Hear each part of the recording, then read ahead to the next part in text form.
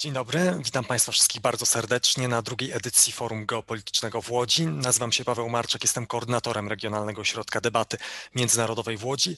Spotykamy się, można by powiedzieć, w tych nietypowych okolicznościach, patrząc na to, mieliśmy okazję w zeszłym roku zorganizować pierwszą edycję forum, natomiast okoliczności nietypowe dzisiaj są już typowe. Więc dlatego nasze wydarzenie z uwagi na panującą pandemię koronawirusa odbywa się online. E, witam wszystkich jeszcze raz bardzo serdecznie. Zaczynamy dzisiaj pierwszą z cyklu czterech debat podczas drugiej edycji Forum Geopolitycznego.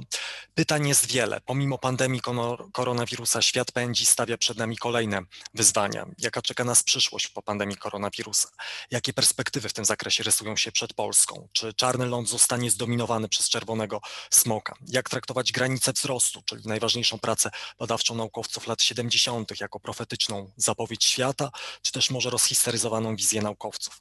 Co z nowymi technologiami? Czy są szansą na zmiany i usprawnienie funkcjonowaniu świata i ludzkości, czy też może jednak jego zagładą? Natomiast dzisiaj pierwsza z debat z cyklu Samodzielność strategiczna, jak obronić Polskę. Mam ogromną przyjemność powitać tutaj pana profesora Bogdana Guralczyka, e, politologa, sinologa, dyplomatę, w przeszłości e, dyplomatę tutaj w Królestwie Tajlandii, w Birmie, ale także w Republice Filipin. Witam bardzo serdecznie, dobry wieczór. Mam także przyjemność powitać pana doktora Leszka Sykulskiego, historyka, doktora nauk o polityce, prezesa Polskiego Towarzystwa Geostrategicznego. Dobry wieczór. Dobry wieczór. I mam także przyjemność powitać pana Alberta Świdzińskiego, absolwenta Kolegium Civitas i Uniwersytetu Warszawskiego, dyrektora analiz w strategii Strategy and Future. Dobry wieczór. Dobry wieczór, dziękuję za zaproszenie. E, dzisiejszą debatę moderować będzie e, Magda Doliwa-Górska, konsultantka ROT-Łódź i szefowa Rady Instytutu Spraw Obywatelskich. Dobry wieczór. Dobry wieczór, witam Państwa. Zanim przejdziemy do debaty, kilka takich e, wątków technicznych także dla Państwa. Gorąco zachęcam do zadawania pytań. Pytania można za, zadawać za pośrednictwem ankiety QA, ale także na Facebooku Regionalnego Ośrodka Debaty Międzynarodowej Instytutu Spraw Obywatelskich, gdzie relacja e, z dzisiejszej debaty jest właśnie dla Państwa udostępniona. Zachęcam także do zadawania pytań na Twitterze Regionalnego Ośrodka Debaty Międzynarodowej w Łodzi. Podczas drugiej części naszego panelu te pytania, mam nadzieję, że przynajmniej część z nich padnie podczas naszej e, dyskusji Przypomnę tylko, że projekt Regionalnego Ośrodka Debaty Międzynarodowej w Łodzi jest to projekt realizowany przez Instytut Spraw Obywatelskich i współfinansowany przez Ministerstwo Spraw Zagranicznych. Po tej części pytań, po tej części wstępu zapraszam już do części e, pytań, do otwarcia naszej dyskusji, więc mogę z dumą ogłosić, że druga edycja Forum Geopolitycznego uważam za otwartą. Serdecznie zapraszam do dyskusji. Dzień dobry, jeszcze raz witam. To nie przedłużając panowie, bo jak ustaliliśmy przed wejściem, temat samodzielności strategicznej Polski to temat, którego na pewno w tej debacie nie wyczerpiemy. Jest na to zdecydowanie za mało czasu. Więc może zacznijmy od definicji, czym ta samodzielność strategiczna naszego kraju według panów de facto jest, a, a czym powinna być, jak panowie to widzicie. I od tego może zacznijmy. Panie profesorze, Pan profesor Bogdan Kuralczyk, zapraszam. Dobry wieczór Państwu. Miło mi, że w tym roku uczestniczę. W zeszłym roku przewodnicząca naszych obrad próbowała, ale się nie udało, bo gdzieś mnie wywiało do Azji. Proszę Państwa, my jesteśmy reprezentantami państwa średniego, a państwa średnie i małe e, mają inną rangę niż wielkie mocarstwa. Wyjdźmy od tego, co teraz drży w posadach, czyli ładu światowego. E, ład światowy zawsze kształtuje się po dużym konflikcie czy zakręcie. Podejrzewam, że obecna pandemia koronawirusa takim zakrętem jest. Świat będzie nieco inny e, od tego, jak w pandemię wchodziliśmy, a jak będzie inny, zależy jak ta pandemia się skończy, e, ile będzie ostatecznie ofiar, czy Azja Wschodnia utrzyma, że już tę pandemię zatrzymała, czy Stany Zjednoczone nadal będą e, notowały tyle zakażeń i ofiar. No i wreszcie, czy ta szczepionka, o której już na szczęście realnie mówimy, zadziała. E, ten zakręt powoduje, że państwo takie jak my powinno myśleć, co będzie po tym kryzysie. Kto będzie wygranym? Na kogo stawiamy? Bo to nie my, chociaż będziemy tutaj y, ponad dwie godziny i do północy rozmawiali, będziemy dyktowali warunki. To nie od nas będzie niestety zależało, tylko od tych, którzy ponad nami. I w tym kontekście chcę powiedzieć jedną rzecz, jako za, zaczyn i drożdże pod naszą debatę. Otóż my mamy y, tradycyjne polskie historyczne przekleństwo między Rosją a Niemcami. Bo raz ten policzek, raz ten policzek, a czasami Ribbentrop-Mołotow w obydwie strony twarzy naraz. W tym sensie e, nic się nie zmieni po pandemii czy każdym innym zakresie. Nawet, o czym teraz głośno, że jeśli z Unii Europejskiej wyjdziemy, niech nas ręka boska broni, ale jeśli wyjdziemy, to Niemcy i tak zostaną naszymi sąsiadami, a z Niemcami mamy 30% naszych obrotów handlowych. I co? Co się zmieni?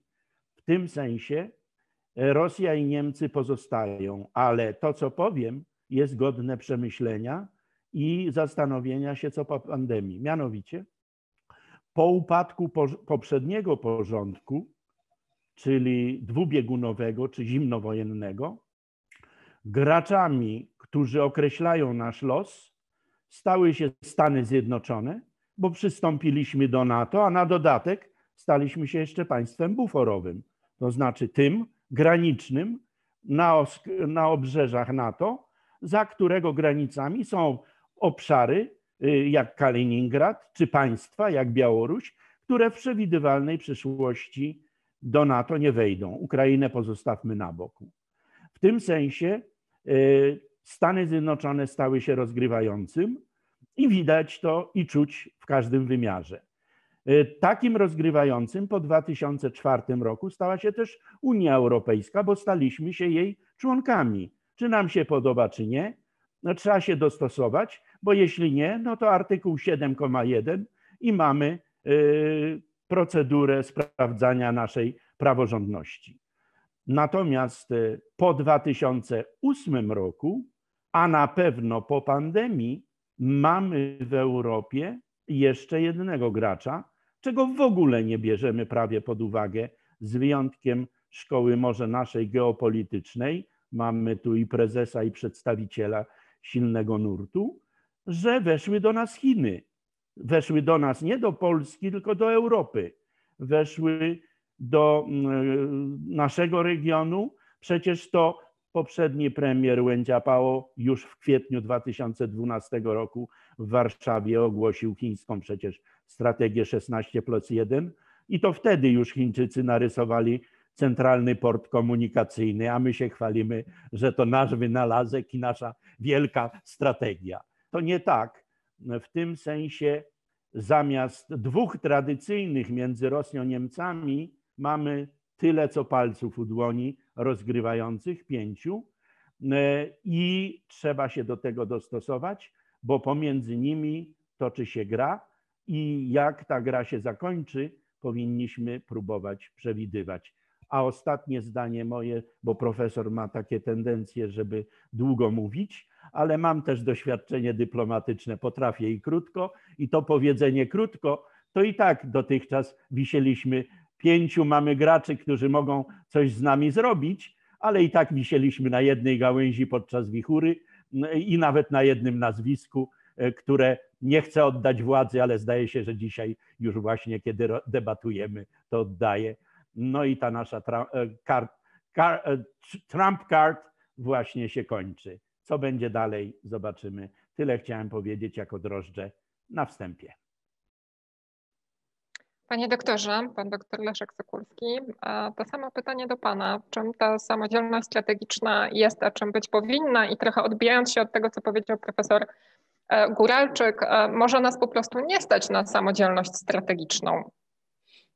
Dobry, dobry wieczór raz jeszcze. Witam Państwa serdecznie. Dziękuję na wstępie za y, zaproszenie. Odpowiadając na pytanie pani moderator, myślę, że samodzielność strategiczna to zdolność po pierwsze do artykułowania własnych celów w polityce zagranicznej, w polityce bezpieczeństwa, w polityce kulturalnej, w polityce gospodarczej. Po drugie, zdolność do realizowania wytyczonych sobie celów strategicznych. Jeżeli mówimy o sytuacji strategicznej, to używając języka teorii gier, mamy do czynienia zawsze z taką sytuacją, w której nie tylko nasza wola i nasze decyzje należy uwzględniać, no bo wówczas mielibyśmy do czynienia tylko i wyłącznie z teorią optymalizacji działania, ale także stron y, ościennych innych y, uczestników gry, innych uczestników rozgrywki międzynarodowej. Zatem to jest sytuacja strategiczna i nie sposób e, tutaj poruszyć trzeciego, trzeciego pojęcia, czyli kultury strategicznej. Myślę, że w Polsce zbyt mało mówimy o pojęciu kultury strategicznej, a na Zachodzie, no mniej więcej od drugiej połowy lat 70., jest to termin jeden z terminów osiowych, jeśli chodzi o stosunki międzynarodowe, studia strategiczne, to właśnie na gruncie studiów strategicznych powstał, by przywołać tylko chociażby książkę Jacka Snydera o sowieckiej kulturze strategicznej, ale myślę, że gdybyśmy chcieli jeszcze sięgnąć głębiej, to e, długi telegram z Moskwy George'a Kenana i to zwrócenie uwagi na charakter kultury rosyjskiej od wieków, który w pewien sposób wpływa na politykę zagraniczną i bezpieczeństwa, mówiąc językiem współczesnym tego państwa, jest bardzo istotny. Kultura strategiczna to nic innego jak zestaw pewnych wzorców, pewnych matryc myślenia o samych, y, o samym sobie oraz o otoczeniu. E, to zestaw oczywiście pewnych wzorców i matryc e, pożądanego postępowania w relacjach międzynarodowych, w relacjach z innymi graczami na arenie międzynarodowej. I y, bardzo krótko odpowiadając na, na, pytanie pani redaktor, czy jesteśmy dzisiaj, y, czy nas stać, po prostu czy nas stać na samodzielność strategiczną. Po pierwsze, uważam, że stać nas na mówienie i myślenie y, o kulturze strategicznej, stać nas na artykułowanie przede wszystkim celów naszej kultury strategicznej. To, że obecnie Strategia Bezpieczeństwa Narodowego Rzeczpospolitej Polskiej podpisana 12 maja tego roku przez prezydenta Andrzeja Dudę w ogóle nie porusza pojęcia racji stanu, E, i tak naprawdę jest takim zlepkiem, powiedziałbym, życzeniowym, takich pobożnych życzeń w polityce zagranicznej czy polityce bezpieczeństwa, to nie znaczy, że nie mamy zaple, zaplecza intelektualnego, nie tylko tego, powiedziałbym, rządowego, ale tego pozarządowego, tego akademickiego, tego, które być może jest także dzisiaj na głębokim marginesie. Niemniej jednak mamy moim zdaniem doskonałych specjalistów, jeśli chodzi o sprawy międzynarodowe, którzy, jak powiedziałem, niekoniecznie są w głównym nurcie, chociaż i takich moglibyśmy w głównym nurcie na pewno znaleźć i stać nas dzisiaj na wyartykułowanie po pierwsze naszy, naszych celów strategicznych, określenie naszej świadomości strategicznej, kim jesteśmy, e, kto jest naszym e, potencjalnym, e, kto jest naszym sojusznikiem, kto jest naszym przeciwnikiem, kto jest naszym potencjalnym sojusznikiem, kto jest naszym potencjalnym przeciwnikiem, czyli określenie tego, co nazywamy mapami mentalnymi, czy też strategicznymi mapami mentalnymi czy kodami geopolitycznymi. I myślę, że od tego warto w ogóle, w ogóle rozpocząć. Natomiast pytanie, czy mamy dzisiaj taki potencjał do tego, aby realizować cele strategiczne, które moglibyśmy sobie mm, tutaj wyartykułować, no to jest pytanie już, bar już bardziej pogłębione. Ja uważam, że na dziś, gdybyśmy chcieli prowadzić bardzo e, samodzielną, bardzo asertywną politykę e, zagraniczną i politykę bezpieczeństwa, chociażby taką, jaką prowadzi Recep Erdoğan, w, w, jeżeli chodzi o politykę turecką, to myślę, że w perspektywie krótkookresowej nie stać by nas było na prowadzenie takiej, takiej polityki. Y, dlaczego? No to może sobie rozwiniemy w, w dalszej części dyskusji, natomiast w perspektywie średnio i długookresowej myślę, że jesteśmy w stanie taką politykę prowadzić. Dziękuję. Dziękuję. Panie Albercie, to samo pytanie. E, ale a propos tego, e, co, co powiedział też pan doktor e, Leszek Sykulski, że przecież ten potencjał intelektualny w Polsce jest w wielu rozproszonych ośrodkach, ale on jest i Strategy in Future na pewno jest przykładem na, na taki ośrodek, to z Pana doświadczenia Państwa wieloletniej pracy, czy, czy, ten głos macie takie poczucie, że jest słyszany, że jest wykorzystywany ten głos i, i analizy, które przygotowujecie jako, ten ośrodek intelektualny, jeden, jeden z wielu na, mapa, na mapie Polski. Może pozwolę sobie rzeczywiście zacząć od Pani mm, pytania. Jeszcze raz dziękuję za zaproszenie przede wszystkim. My w, odnoszę wrażenie, nie mam takiego doświadczenia jak Jacek, znacznie krócej funkcjonuje e, w tej rzeczywistości, natomiast wydaje mi się, że obraliśmy zupełnie inną drogę niż większość ośrodków badawczych, think tanków, to znaczy funkcjonujemy, funkcjonujemy poza strukturami tymi decyzyjnymi czy doradczymi w sensie formalnym. Nie jesteśmy reprezentantami wieży, tylko jesteśmy reprezentantami placu. E, fakt, że ludzie, którzy umożliwiają tę pracę, to, to nie są ani przedstawiciele firm przemysłu obronnego, ani mm, aparatu centralnego, rządu centralnego, tylko zupełnie przeciętni ludzie, można powiedzieć, którzy, którzy uznali, że to, co oferujemy, jest wartościowe. Wydaje mi się, po pierwsze, daje nam znacznie większy margines e, wolności i niezależności w tym, jaki, co komunikujemy, w jaki sposób komunikujemy. Nie, nie jesteśmy ograniczeni chociażby grą statusową, tak? potrzebą, potrzebą dostosowywania wypowiedzi tak, aby, aby zostały one zaakceptowane przez, przez ten czy inny ośrodek władzy. Jedynym ośrodkiem władzy zupełnie dystrybuowanym są nasi odbiorcy, nikt poza tym. Więc i, i, sądzę, że to w jakiś, w jakiś sposób tworzy mm, taki samonapędzający się mechanizm, bo pozwala on na przede wszystkim jest autentyczny. I sądzę, że w jakiś sposób jest to dostrzegane przez ludzi, którzy e, subskrybują Strategy and Future, czy interesują się tym, co Jacek ma do powiedzenia, bo to on jest, jest twarzą tej, tej organizacji. Mm. Pro, problem elit, e, i to może wracając troszeczkę już do, do tematu panelu, e, chciałem zauważyć po pierwsze, że widzę jasną inspirację Hugh White'em w tytule panelu. I, I to jest też ciekawe, bo Australia w pewien sposób mierzy się z podobnymi problemami. Przepraszam, jeśli mogę, to um, absolutnie trafione, zatopione. Faktycznie inspiracją był Hugh White i jego, um, jego, jego spotkanie tutaj w Polsce, które zorganizował Układ Sił w zeszłym roku. E, no i tutaj wielki apel przez Pana do Jacka, że czekamy na taką pozycję w Polsce. Ktoś musi usiąść i to napisać. Myślę, że Jacek pracuje nad, tym, nad, czymś takim, ale przekażę, jeśli, jeśli nie ogląda nas teraz. Więc w pewien sposób sytuacja, oczywiście są znaczne różnice wynikające z geografii, natomiast sytuacja w, pewien, w pewnym stopniu jest analogiczna. Wspominając o tym, co mówił pan profesor Guralczyk, Polska rzeczywiście jest państwem średnim, podobnie jak Australia. Jednocześnie wraz z końcem jednobiegunowej chwili e, obawiam się, że te państwa średnie, szczególnie znajdujące się w aktywnych tektonicznie regionach, rejonach świata, miejscach na mapie, nie będą miały ucieczki, w którą w taki, w taki eskapizm, wydaje mi się, Polska w kierunku tego eskapizmu Polska podążała. To być może jest zrozumiałe, szczególnie biorąc pod uwagę traumy, traumatyczne doświadczenia e, Rzeczypospolitej. Natomiast y, wydaje mi się, że nie będziemy mogli już sobie pozwolić na błogosławieństwo wyrzeczenia się e, czy, czy potrzeb zdefiniowania tego właśnie, czym jest samodzielność strategiczna. E, I nie jestem nawet przekonany, czy w związku z geografią będziemy mogli pozwolić sobie wyłącznie na myślenie o sobie, szczególnie w dłuższej perspektywie, jako o państwie średnim. Jakkolwiek byłoby to pożądane, nie jestem przekonany, czy jest to, czy jest to możliwe do utrzymania i czy jest to bezpieczne. Tu pozwolę sobie wspomnieć również o cytacie z profesora Guralczyka, z książki pana profesora Guralczyka, e, a mianowicie, że nawet wielkie państwa, jeżeli będą myśleć o sobie jako państwach małych, to takie właśnie będą, to będą małe. Proszę wybaczyć inspirujący cytat, ale był znakomity, więc musiałem o nim wspomnieć.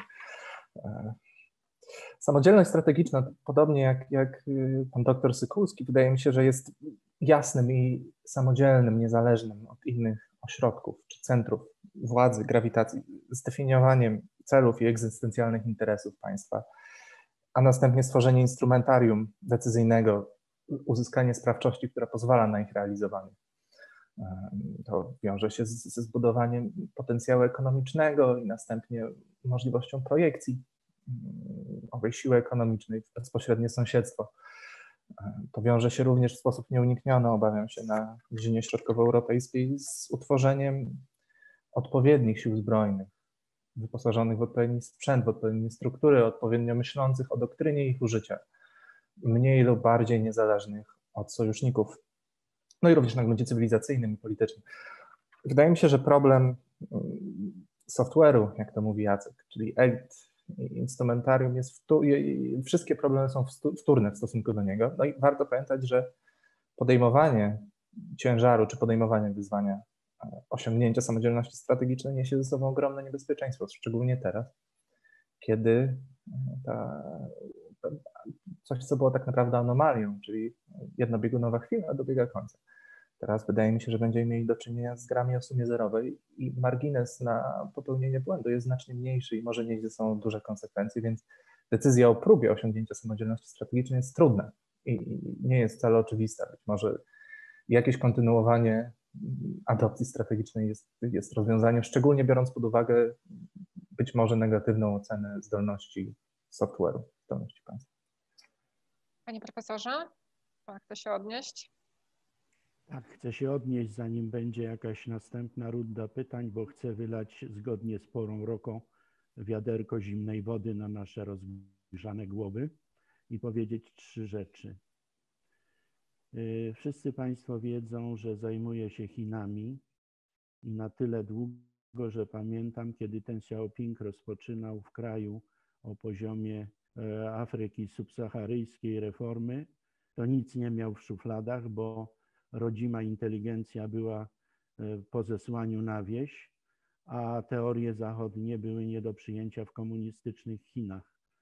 I zastosował tylko trzy zasady, i to wystarczyło, żeby z tamtego poziomu wysforować Chiny po 40 latach do rangi drugiego mocarstwa, którego pierwsze się boi. E, z czego startował ten Xiaoping? Z trzech maksym. Nieważne, czy kot jest biały, czy czarny, ważne, że łowi myszy. Drugie uzupełnienie pierwszej bardzo ładnie brzmi po chińsku szyszy ciuszy, czyli poszukiwać prawdy w faktach, a nie w teoriach oderwanych od rzeczywistości. Nikogo tu nie krytykuję.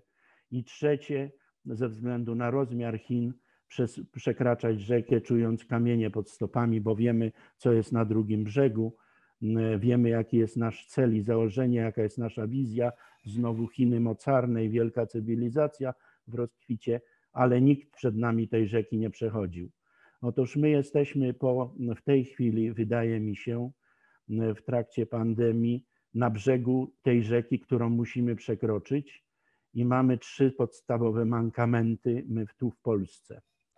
Pierwszy, że to już Giedroć i Mieroszewski zauważyli, czyli w zamierzchłych czasach E, które szczęśliwie czasami w debatach intelektualnych powracają, że Polska w zachowaniu na arenie międzynarodowej jest schizofreniczna, polska polityka zagraniczna, bo mamy kompleksy wyższości wobec tych Pepików, innych Janosików i tych po, po, po sąsiedzku i kompleksy niższości wobec wielkich, począwszy oczywiście od Stanów Zjednoczonych.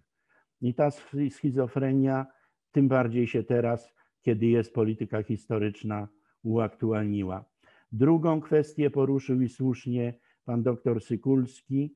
E, nawet racji stanu nie poruszamy, no bo mamy straszliwą gangrenę i dlatego powiedziałem, że to będzie wiadro zimnej wody, bo od 2005 roku zamiast jednej racji stanu mamy dwie i rządzi nami popis.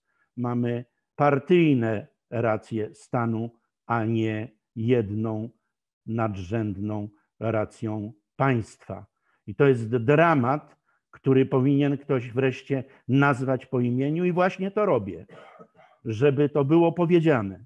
Bo jeżeli będziemy ciągle w zwarciu i walka będzie tych dwóch tribe, dwóch plemion politycznych, to o jakiej my strategii będziemy mówili? O czyjej?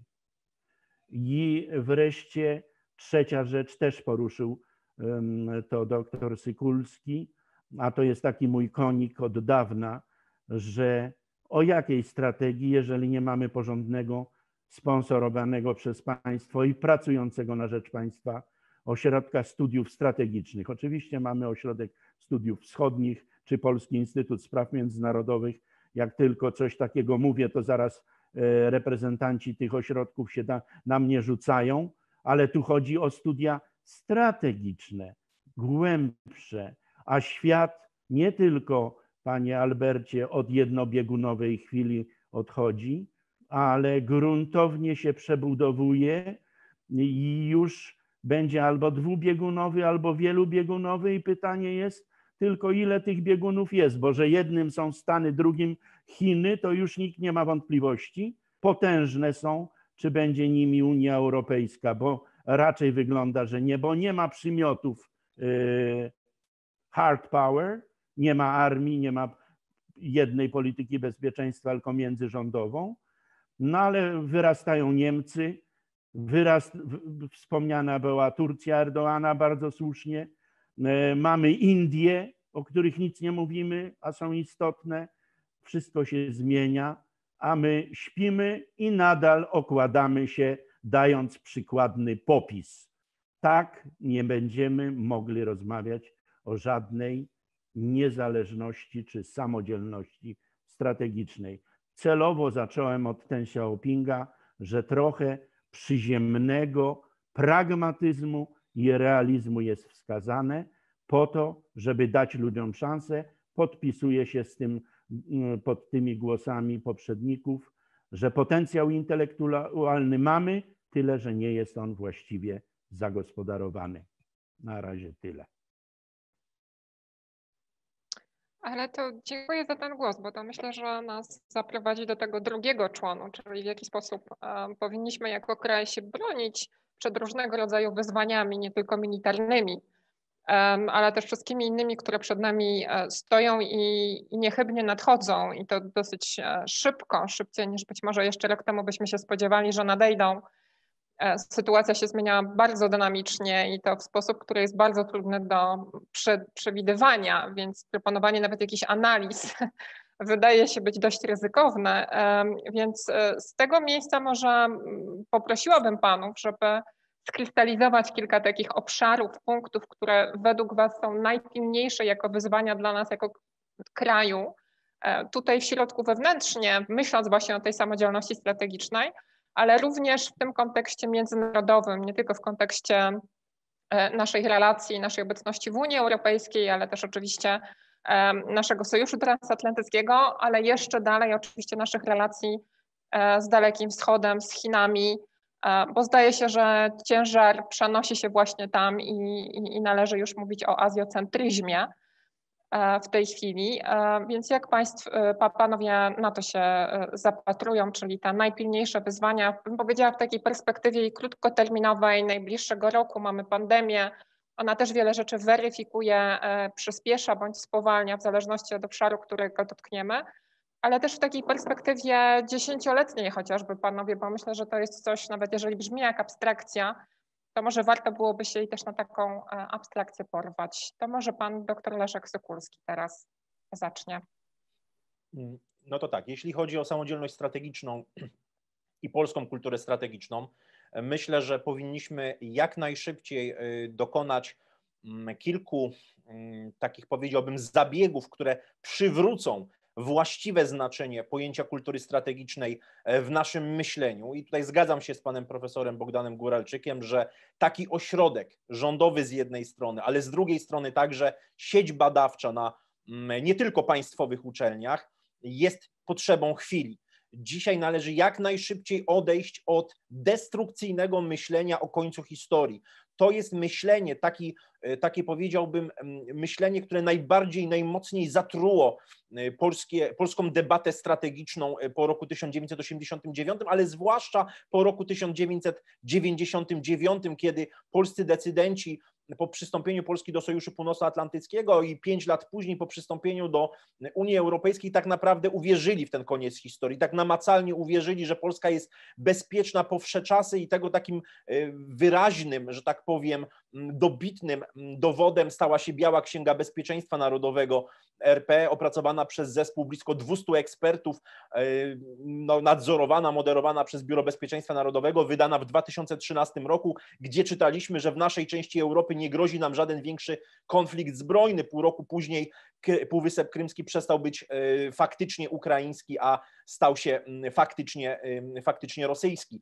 W związku z tym myślę, że powołanie takiego ośrodka, powołanie sieci badawczych, które będą akcentowały studia strategiczne, trendy geostrategiczne, badania nad geopolityką, paradygmat realistyczny, neorealistyczny jest dzisiaj absolutnie priorytetem. Druga kwestia to jest przyjęcie bardzo mądrej strategii bezpieczeństwa narodowego, ale nie takiej, która będzie pisana na kolanie i opracowywana na najbliższe 2-3 e, lata, ale takiej, która obejmie najbliższe pokolenie. Musimy nauczyć się, jeżeli chcemy być podmiotem w stosunkach międzynarodowych, musimy zacząć myśleć tak jak podmioty, czyli myśleć na przynajmniej jedno pokolenie do przodu. I uważam, jeżeli miałbym tutaj jakieś zręby pokusić się i, być takim nieco zuchwałym w, tym, w, tym swoim, w, tym w tej swojej narracji i pokusić się o wyszczególnienie takich filarów, moim zdaniem, no to po pierwsze, naci po pierwsze nacisk na interesy, po drugie nacisk na interesy, po trzecie nacisk na interesy, po czwarte doktryna zero wrogów wśród sąsiadów i po piąte, po pierwsze gospodarka, czyli Polska jako kraj tranzytowy, ale jako hub, jako stworzeń geoekonomiczny, w, na kontynencie eurazjatyckim. Nauczmy się wreszcie myśleć w kategoriach wielkoprzestrzennych. To, że jesteśmy państwem średniej wielkości, absolutna zgoda. Ale czy musimy myśleć e, jako e, kraj mały, czy, może, czy musimy być umniejszycielami Polski? Wcale tak nie uważam. Uważam, że powinniśmy absolutnie patrzeć na procesy geopolityczne w kategoriach wielkoprzestrzennych, rozumieć te procesy, a tym naczelnym procesem, który dzisiaj się odbywa na na świecie to jest proces policentryzacji świata. Pauza, pauza strategiczna, czy też jednobiegunowa chwila, no to jest jakby chyba dla każdego oczywiste dzisiaj, że jest przeszłością, no może poza naszymi decydentami. I właściwie od chwili ogłoszenia zwrotu Kuazji przez Hillary Clinton w 2011 roku, w styczniu 2012 roku, bardzo ciekawy dokument Departament Stanu na ten temat wydał, no dla każdego jest jasne, że mamy do czynienia ze zwijaniem się parasola bezpieczeństwa amerykańskiego e, i to, co Joseph Nye nazwał pułapką Kindlebergera, to, co Graham Abraham Allison nazwał pułapką Tukidydesa, to tak naprawdę są procesy towarzyszące temu wielkiemu tektonicznemu ruchowi e, płyt geopolitycznych, który nazywa się policentryzacją świata. I w tym y, duchu należy oczywiście sformułować naszą doktrynę, jak mamy się zachować wobec potencjalnego konfliktu Stanów Zjednoczonych i Chińskiej Republiki Ludowej. Mówię oczywiście o konflikcie ewentualnym kinetycznym. E, jak, w jaki sposób ma się zachować, jakie stanowisko ma przyjąć Unia Europejska, jakiej Unii Europejskiej chcemy, czy chcemy być w Unii Europejskiej. Myślę, że większa część z polskiej sceny e, politycznej, intelektualnej chce, ale pytanie, w jakiej Unii Europejskiej?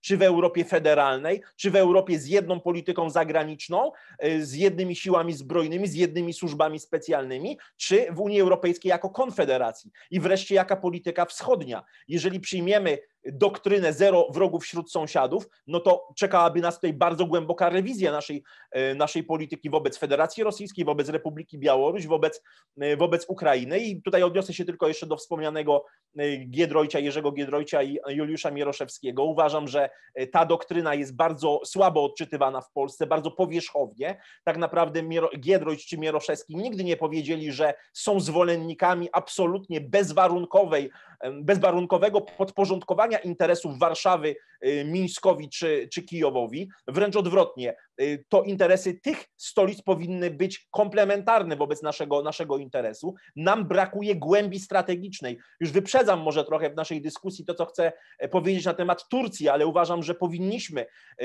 tutaj y, absolutnie czerpać pełnymi garściami z kultury strategicznej innych państw, nie tylko zachodniego modelu kulturowego. I myślę, że jeżeli sobie przeanalizujemy na przykład e, format intelektualny polityków tureckich, chociażby byłego ministra spraw zagranicznych Ahmeta Davutoglu, który, profesora stosunków międzynarodowych, który w 2001 roku napisał świetną książkę pod tytułem Głębia strategiczna, gdzie nakreślił tak naprawdę główne filary polityki zagranicznej Turcji i porównamy to no, z wykwitami intelektualnymi polskich ministrów spraw zagranicznych, przynajmniej niektórych, nie, nie, absolutnie tutaj z nazwiska nikogo nie, wy, nie, nie wymawiając, którzy absolutnie ignorują kwestie wielobiegunowości świata, tych procesów geopolitycznych, samej geopolityki, no to widzimy, że mamy naprawdę bardzo dużo do zrobienia na niwie takiej, powiedziałbym, pracy organicznej.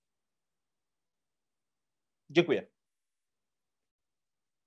Panie Albercie? To teraz piłka mm, po Pana stronie boiska. I też te same pytania o wyzwania dla Polski w tej perspektywie krótkoterminowej i przynajmniej najbliższej dekady, ale jeszcze nawiązując do tego, co zaznaczył pan dr Leszek Cykulski, czyli interesy, interesy, jeszcze raz interesy plus relacje partnerskie z naszymi sąsiadami, gospodarcze e, te, te interesy i Polska też jako hub, e, no to też pytanie, czy, czy w ogóle to jest możliwe? Czy to jest realne po, po naszej stronie, czy, czy jednak nie? Rozumiem. Może jeszcze wracając do, pozwolę sobie e, wspomnieć o tym, co panowie mówili o utworzeniu tego centrum analitycznego, czy sieci badawczej. Nie jestem przekonany, czy ono nie byłoby obciążone grzechem pierworodnym tego, że jest ono finansowane z pieniędzy publicznych i różne niedoskonałości, które występują teraz, mogą występować również w przypadku tej sieci. Tak? Nie, nie wiem, czy, czy, czy jest oczywisty sposób na uniknięcie tego problemu. Oczywiście, tak jak mówiłem, proces selekcji, wszystkie problemy, o których mówimy, są wtórne w stosunku do procesu selek do problemu selekcji elit i do tego, że przynajmniej w obecnym wydaniu mechanizm demokratyczny odnalazł ogromny, ogromną skuteczność w manipulowaniu emocjami ludzi. To przepraszam, że wchodzę w słowo, ale to zatrzymując się e, przy tym, do czego Pan wraca, czyli do tych elit, których tak mocno bardzo potrzebujemy e, tutaj w kraju, bo właściwie moglibyśmy Panowie w tej chwili tę dyskusję zamknąć. No nie ma kim tego robić, e, tego wszystkiego, o czym Panowie mówicie. Więc, więc moglibyśmy faktycznie powiedzieć, co należało zrobić i czekać, aż prawda, to wejdzie jakieś pokolenie, które się tym realnie zajmie. E, więc nawiązując do tego, od czego Pan, e, pan wyszedł, Panie Albercie, jeszcze w poprzedniej turze pytań, no to jak sobie wykształcić, wychować, uformować taką, taką elitę? Czy to jest w ogóle możliwe? Kiedy z, z, znaczy wtrąciła Pani, to chciałem od razu powiedzieć, zanim jeszcze usłyszałem pytanie, nie mam bladego pojęcia. Nie mam najmniejszego pojęcia. Jest, wydaje mi się, że w obecnym paradygmacie będzie to niezwykle trudne to też nie jest, to, to, nie jest pierwsze pokolenie, które ma z tym problem. To, wydaje mi się, że Polska jako taka miała ostatnie 30 lat to była jednobiegunowa chwila. Wcześniej siłą rzeczy myślenie takie w, w, w ramach własnej sprawczości było ograniczone tak? strukturalnie. Więc to nie jest problem nowy i nie mam dlatego pojęcia, jak to rozwiązać, prawdę powiedziawszy, systemowo i na szeroką skalę. Wydaje mi się, że pan, pan Pan Panie Leszku, pan doktor Leszek Lukus. Ja tylko adwocem oczywiście kwestia, kwestia, pole, kwestia polemiki małej mm, tutaj z panem Albertem. Myślę, że stworzenie rządowego ośrodka analitycznego czy sieci badawczej, państwowej sieci badawczej, takie sieci istnieją, chociażby sieć Łukasiewicz, prawda, ale to jakby tu o, o zupełnie inny format chodzi czerpiącego wzorce zachodnie, tutaj to, to warto podkreślić, jest możliwe. No przecież zobaczmy na to, co robią Amerykanie. Outsourcing wywiadowczy.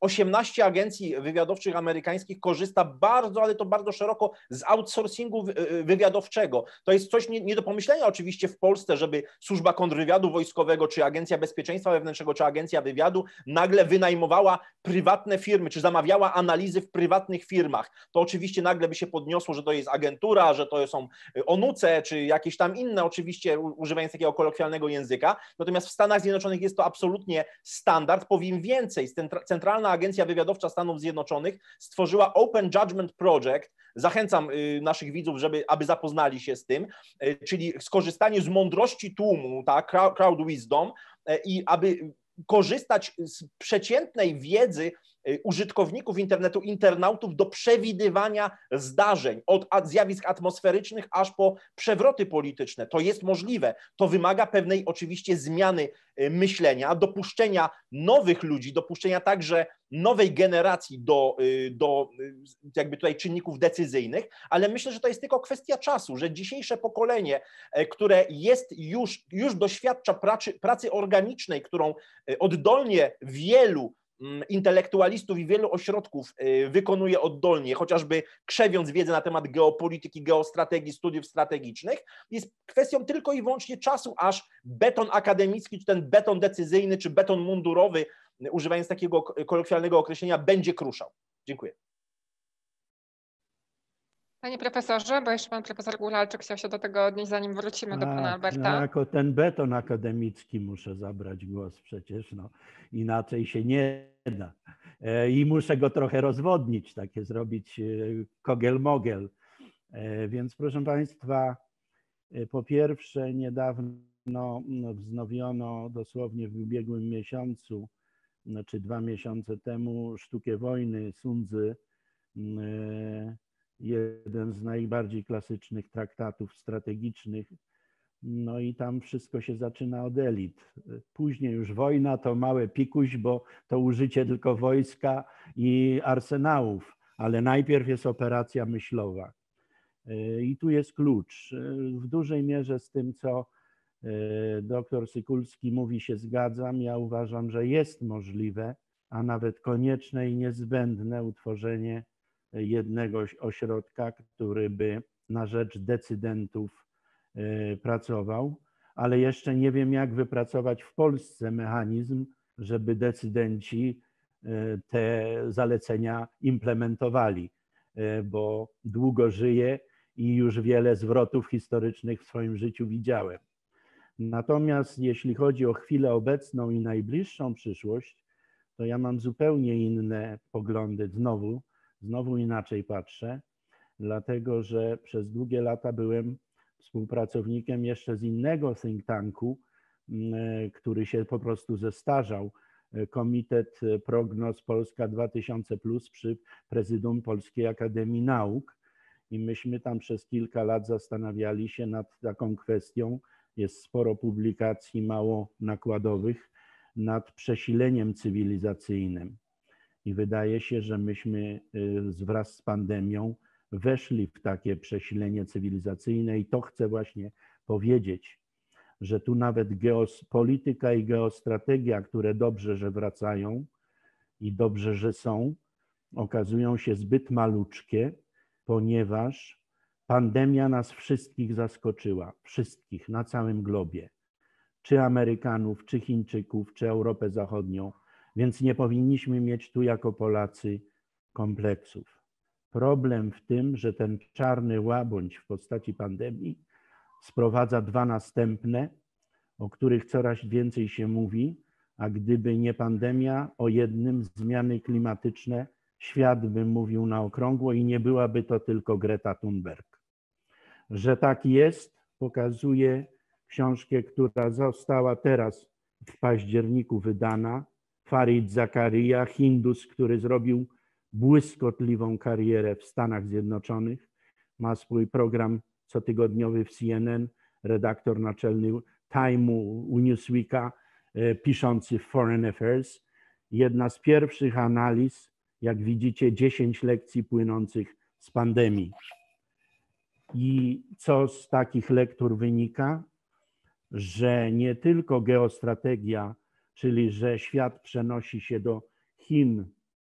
Czy Chiny wygrały, pyta, pyta Kishore Mabubani, e, czyli w domyśle Amerykanie przegrali, tylko musimy najpierw, i o tym pisze Farid Zakaria i coraz więcej innych osób, zająć się klimatem, bo jeśli się tym nie zajmiemy, to wszelkie nasze rozważania geopolityczne biorą i tak w łeb, a koszty będą nieporównywalne.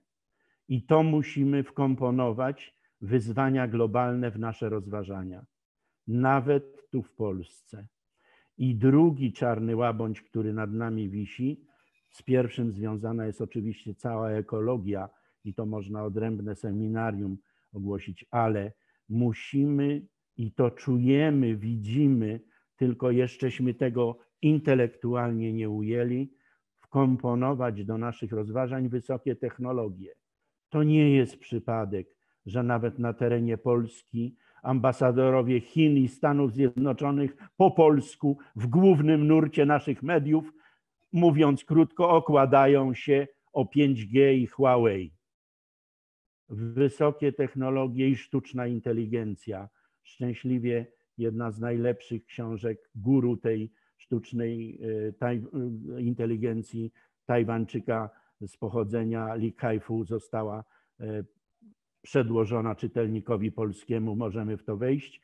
Chcę powiedzieć, że u Zakarii sztuczna inteligencja, wysokie, inteli wysokie technologie, klimat, a dopiero dwa ostatnie rozdziały to jest to, co jest zresztą i moim konikiem, że w 2008 roku Centrum Gospodarki Światowej przeniosło się z Atlantyku na Pacyfik i handlu, a po pandemii w 2020 istnieje groźba, że również wysokie technologie się tam przeniosą, bo spójrzmy tylko na, te, na technologię użytkową, na nasze smartfony, telewizory y, i to jest wszystko made in Singapore, made in Malaysia, e, albo Tajwan, albo Korea, albo, albo same Chiny. Tam się przenosi świat i teraz jak przyjdzie Biden, to znowu będzie pivot, ale równocześnie i tutaj będzie zderzenie z panem Leszkiem Sykulskim, interesy, interesy, interesy. To były, y, panie doktorze, w trakcie, w trakcie Trumpa, ale teraz, jak wróci Biden, nie wiemy na ile, wrócą też wartości, y, które były sztandarowe i wróci też y, świat transatlantycki, bo jeżeli znowu jest pivot na Pacyfik, to coś trzeba zrobić z relacjami transatlantyckimi, szczególnie w kontekście Brexitu, bo Brexit zmienił układ sił w Europie. Wracamy, tym będę kończył, wracamy do samych źródeł procesu integracji europejskiej, który się przecież wziął z dialogu i pojednania francusko-niemieckiego. Nie ma Brytyjczyków i ich najsilniejszej armii w Unii Europejskiej. Nie na darmo Emmanuel Macron udzielił niedawno najdłuższego chyba wywiadu w życiu i głosi strategiczną niezależność Europy. Pytanie, co zrobią z tym Niemcy, bo cokolwiek w Unii Europejskiej nie powiemy, co nie wykoncypujemy, czy w Warszawie, czy w Budapeszcie, nawet weto, e, to i tak e, niemieckie e, decyzje mogą być rozstrzygające również w wydaniu Wiktora Orbana, bo jak mu Niemcy zabiorą te cztery montownie największych firm samochodowych z Węgier, to Orban od razu leży. Więc możemy sobie tutaj dużo podskakiwać, ale realia są takie, że mamy coś, co nazywa się w, tele, w nomenklaturze fachowej, czyli po angielsku dependence e, development, czyli rozwój zależny, i musimy z niego się powoli dopiero wydostawać po to, żeby rozmawiać o tym, o czym rozmawiamy, czyli niezależności strategicznej. Czyli trzeba wyjść poza dotychczasowe schematy, do tego zmusza nas pandemia i najnowsze zachodnie i światowe, najnowsza światowa literatura zaczyna to potwierdzać, że bierzemy pod uwagę wysokie technologie i wyzwania globalne, e, które rosną nam w oczach błyskawicznie. Panie Albercie, to ja wrócę jeszcze do, do Pana, żeby domknąć ten wątek wyzwań dla Polski w tej perspektywie krótko i długofalowej, żeby Pan uzupełnił e, te wyzwania, które nakreślili poprzednicy, co by Pan tutaj do tego koszyka dorzucił. Dobrze, to będzie dość, dość krótkie. Wydaje mi się, że to być może czego Polska nie powinna robić, albo Polska absolutnie powinna tak długo, jak to tylko możliwe, uniknąć opowiadania się jednoznacznie po którejkolwiek ze stron, szczególnie w kontekście rywalizacji hegemonicznej Pekin-Waszyngton. E, Australia zachowała się inaczej, to nie wypada mi, jak sądzę, oceniać e, motywacji, którą kierowała się Canberra. To być może odczuwali e, taką sytuację bezpieczeństwa, że, że uznali to za konieczne. Natomiast z pewnością teraz trwa proces zażynania ich gwoli nauczenia czegoś małpy. Tak? Chiny uczą Australii, jak kończy się jednoznaczne opowiadanie się po którejkolwiek ze stron, więc dopóki my oczywiście znajdujemy się w zupełnie innym miejscu. Na Ziemi nie jesteśmy zależni od gospodarki chińskiej, ale jesteśmy zależni od gospodarki niemieckiej, to z kolei jest blisko powiązana z, z, z Chinami.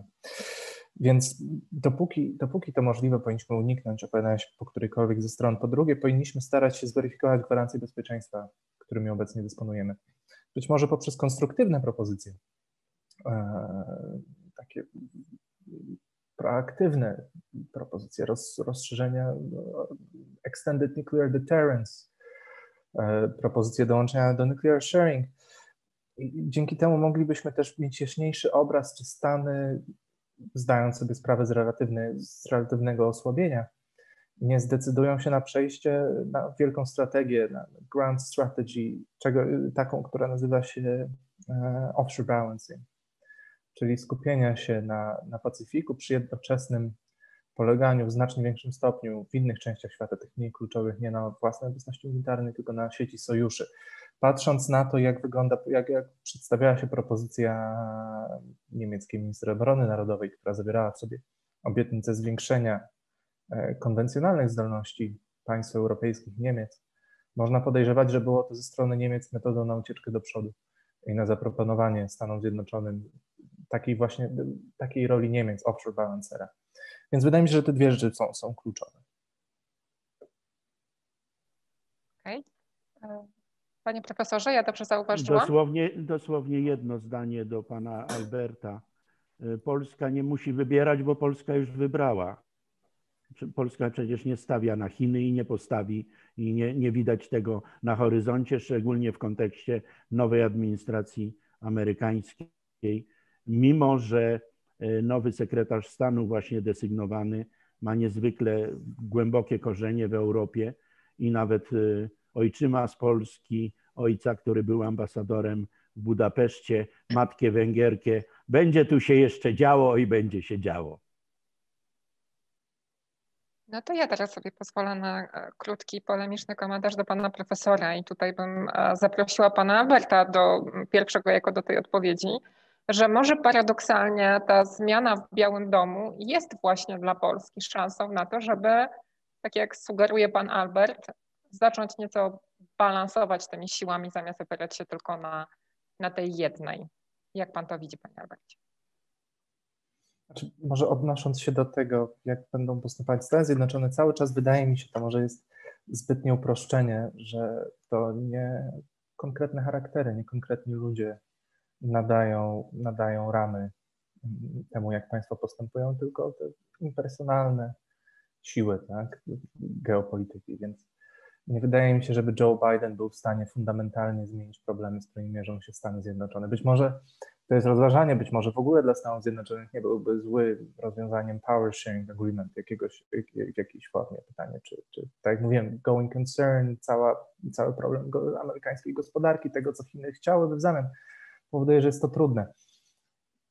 Być może, być może rzeczywiście wraz z przynajmniej, przynajmniej nominalną, nominalną determinacją Joe Bidena, żeby bardziej konstruktywistycznie postrzegać rzeczywistość i budować takie, może mniej w formie transakcyjnej.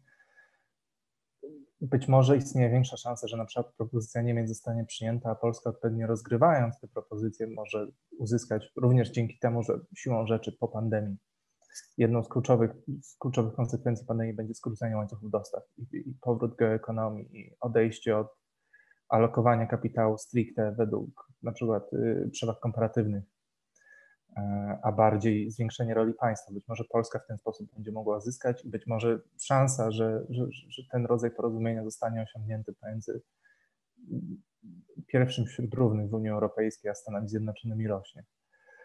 Natomiast jeśli chodzi o, o nie jestem przekonany, czy Stany Zjednoczone się na to zgodzą jeszcze. Nie jestem przekonany, czy propozycja pani Karen Bauer jest wiążąca do całego establishmentu niemieckiego, a nie, wcale nie jestem przekonany, czy tak właśnie jest.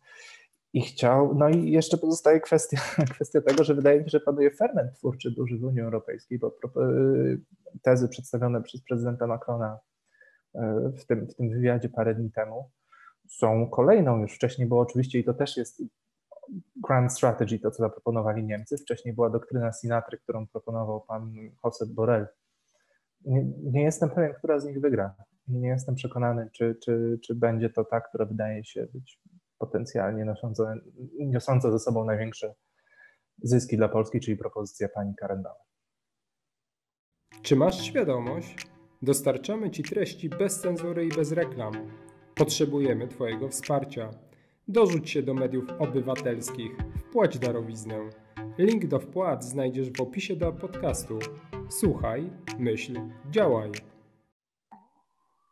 Panie doktorze, doktor Naszek Sokulski, czy zmiana w Białym Domu jest jakkolwiek szansą, pretekstem na to, żeby te siły bardziej równoważyć po stronie polskiej i być może jednak bardziej zacieśniać tę współpracę z Unią Europejską, aczkolwiek wiem, jak to brzmi w kontekście ostatnich wydarzeń. Ale, Myślę, ale że- być może jest to jakiś, jakiś kierunek, który się przed nami w, w dalszej perspektywie otwiera, jak to panowie widzicie.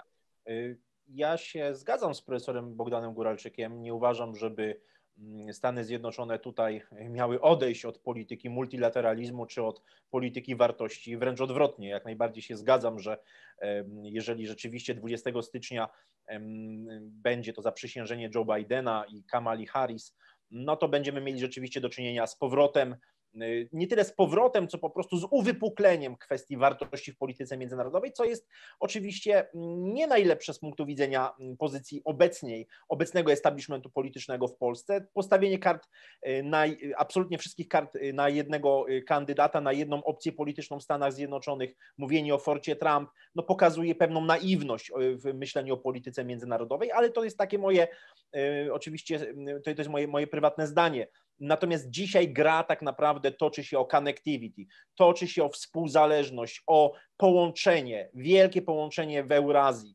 Y, I to na szczeblu i gospodarczym, i logistycznym, i technologicznym. I tutaj przywołany Kajfuli i e, oczywiście wszyscy od Paragakanny, od y, Kishore Mahbubaniego, czy od wielu, wielu innych moglibyśmy wymieniać, którzy akcentują, że mamy do czynienia z wiekiem Azji. Tak jak XIX wiek był zdominowany przez Wielką Brytanię, XX wiek przez Stany Zjednoczone, tak XXI wiek będzie zdominowany, jeśli nie przez Chiny, to na pewno przez Azję i ta główna oś historii będzie absolutnie przebiegała właśnie w Eurazji. Od nas zależy tak naprawdę, jaką drogę wybierzemy, jaką drogę connectivity wy, wy, wybierzemy. Widzimy dzisiaj, że istnieją bardzo, ale to bardzo głębokie trendy do tego, aby Polskę eliminować, czy też ograniczać y, z części przynajmniej wymiany. No czym był tak naprawdę Nord Stream?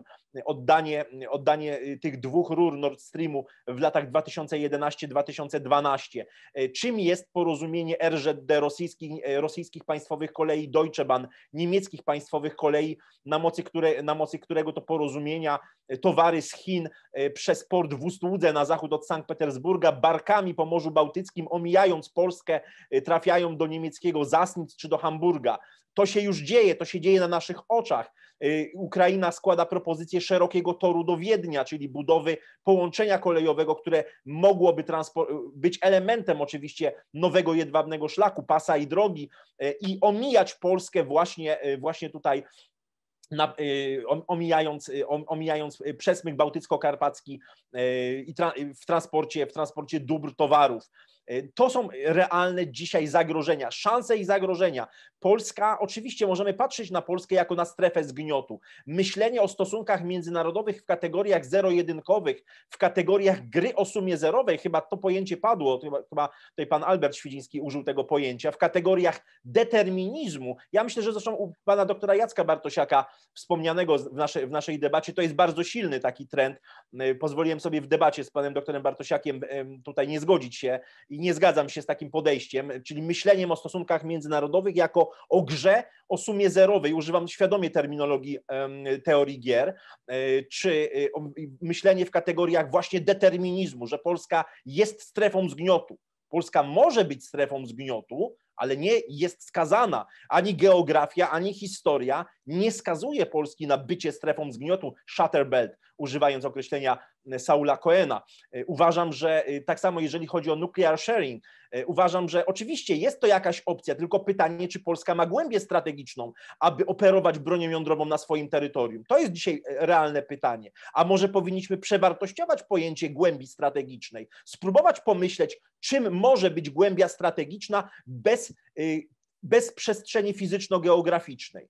Będąc ograniczeni geograficznie, zastanówmy się, czym może być głębia strategiczna dzisiaj. Czy musi to być tylko mm, milion kilometrów kwadratowych powierzchni, czy możemy znaleźć jakiś substytut głębi strategicznej? Polska dzisiaj to nie jest pierwsza Rzeczpospolita. Ja to widzę właśnie w myśleniu doktora Bartosiaka bardzo charakterystycznym, że często myślimy w kategoriach Polski jako y, państwa na pomoście bałtycko-czarnomorskim. No nie, Polska nie leży dzisiaj w większości na nizinie wschodnioeuropejskiej, Polska nie leży, na, nie, jest, nie leży w większości w dorzeczu Morza Czarnego. Polska leży na przesmyku bałtycko-karpackim w ponad 95% na nizinie środkowoeuropejskiej. Jest na, na jednym z najważniejszych szlaków tranzytowych i szlaków handlowych Eurazji i przyjmowanie postawy konfrontacyjnej, a nie kooperacyjnej jest moim zdaniem fundamentalnym błędem.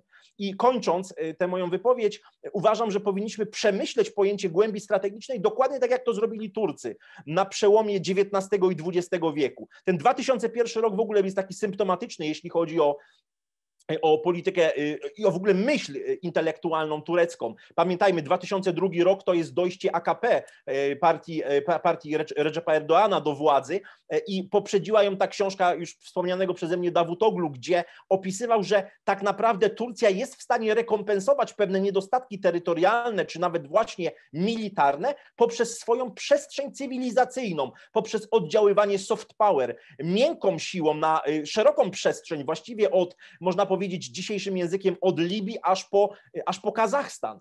Czy Polska nie może tworzyć takiej właśnie, takiej właśnie głębi strategicznej, chociażby poprzez stworzenie anglojęzycznej telewizji, polskiej oczywiście telewizji, nadającej 24 godziny na dobę o zasięgu satelitarnym, zasięgu międzynarodowym, reprezentującym nasze interesy, w ten sposób tworząc sobie taką jedną oczywiście z głębi strategicznych, bo pamiętajmy, że walka informacyjna jest dzisiaj, czy przestrzeń informacyjna jest dzisiaj praktycznie równorzędną przestrzenią do przestrzeni fizyczno-geograficznej. To oczywiście otwieram może, może dyskusję w tym zakresie, jak rozumiemy pojęcie głębi strategicznej jak możemy równoważyć te niedostatki nasze demograficzne czy, czy, czy właśnie czy, czy, czy, czy geograficzne. Pamiętajmy, że w trzydziestce państw o najwyższym współczynniku urodzeń nie ma ani jednego państwa y, Unii Europejskiej. Co więcej, w pierwszej setce państw z najwyższym współczynnikiem urodzeń nie ma ani jednego państwa z Unii Europejskiej. W pierwszej trzydziestce nie ma ani jednego państwa z Europy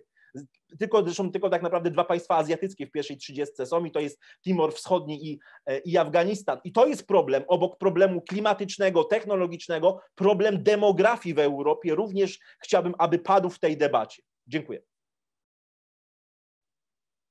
Panowie, profesor Bogdan Góralczyk i Albert Świdziński. Komentarz? Hmm.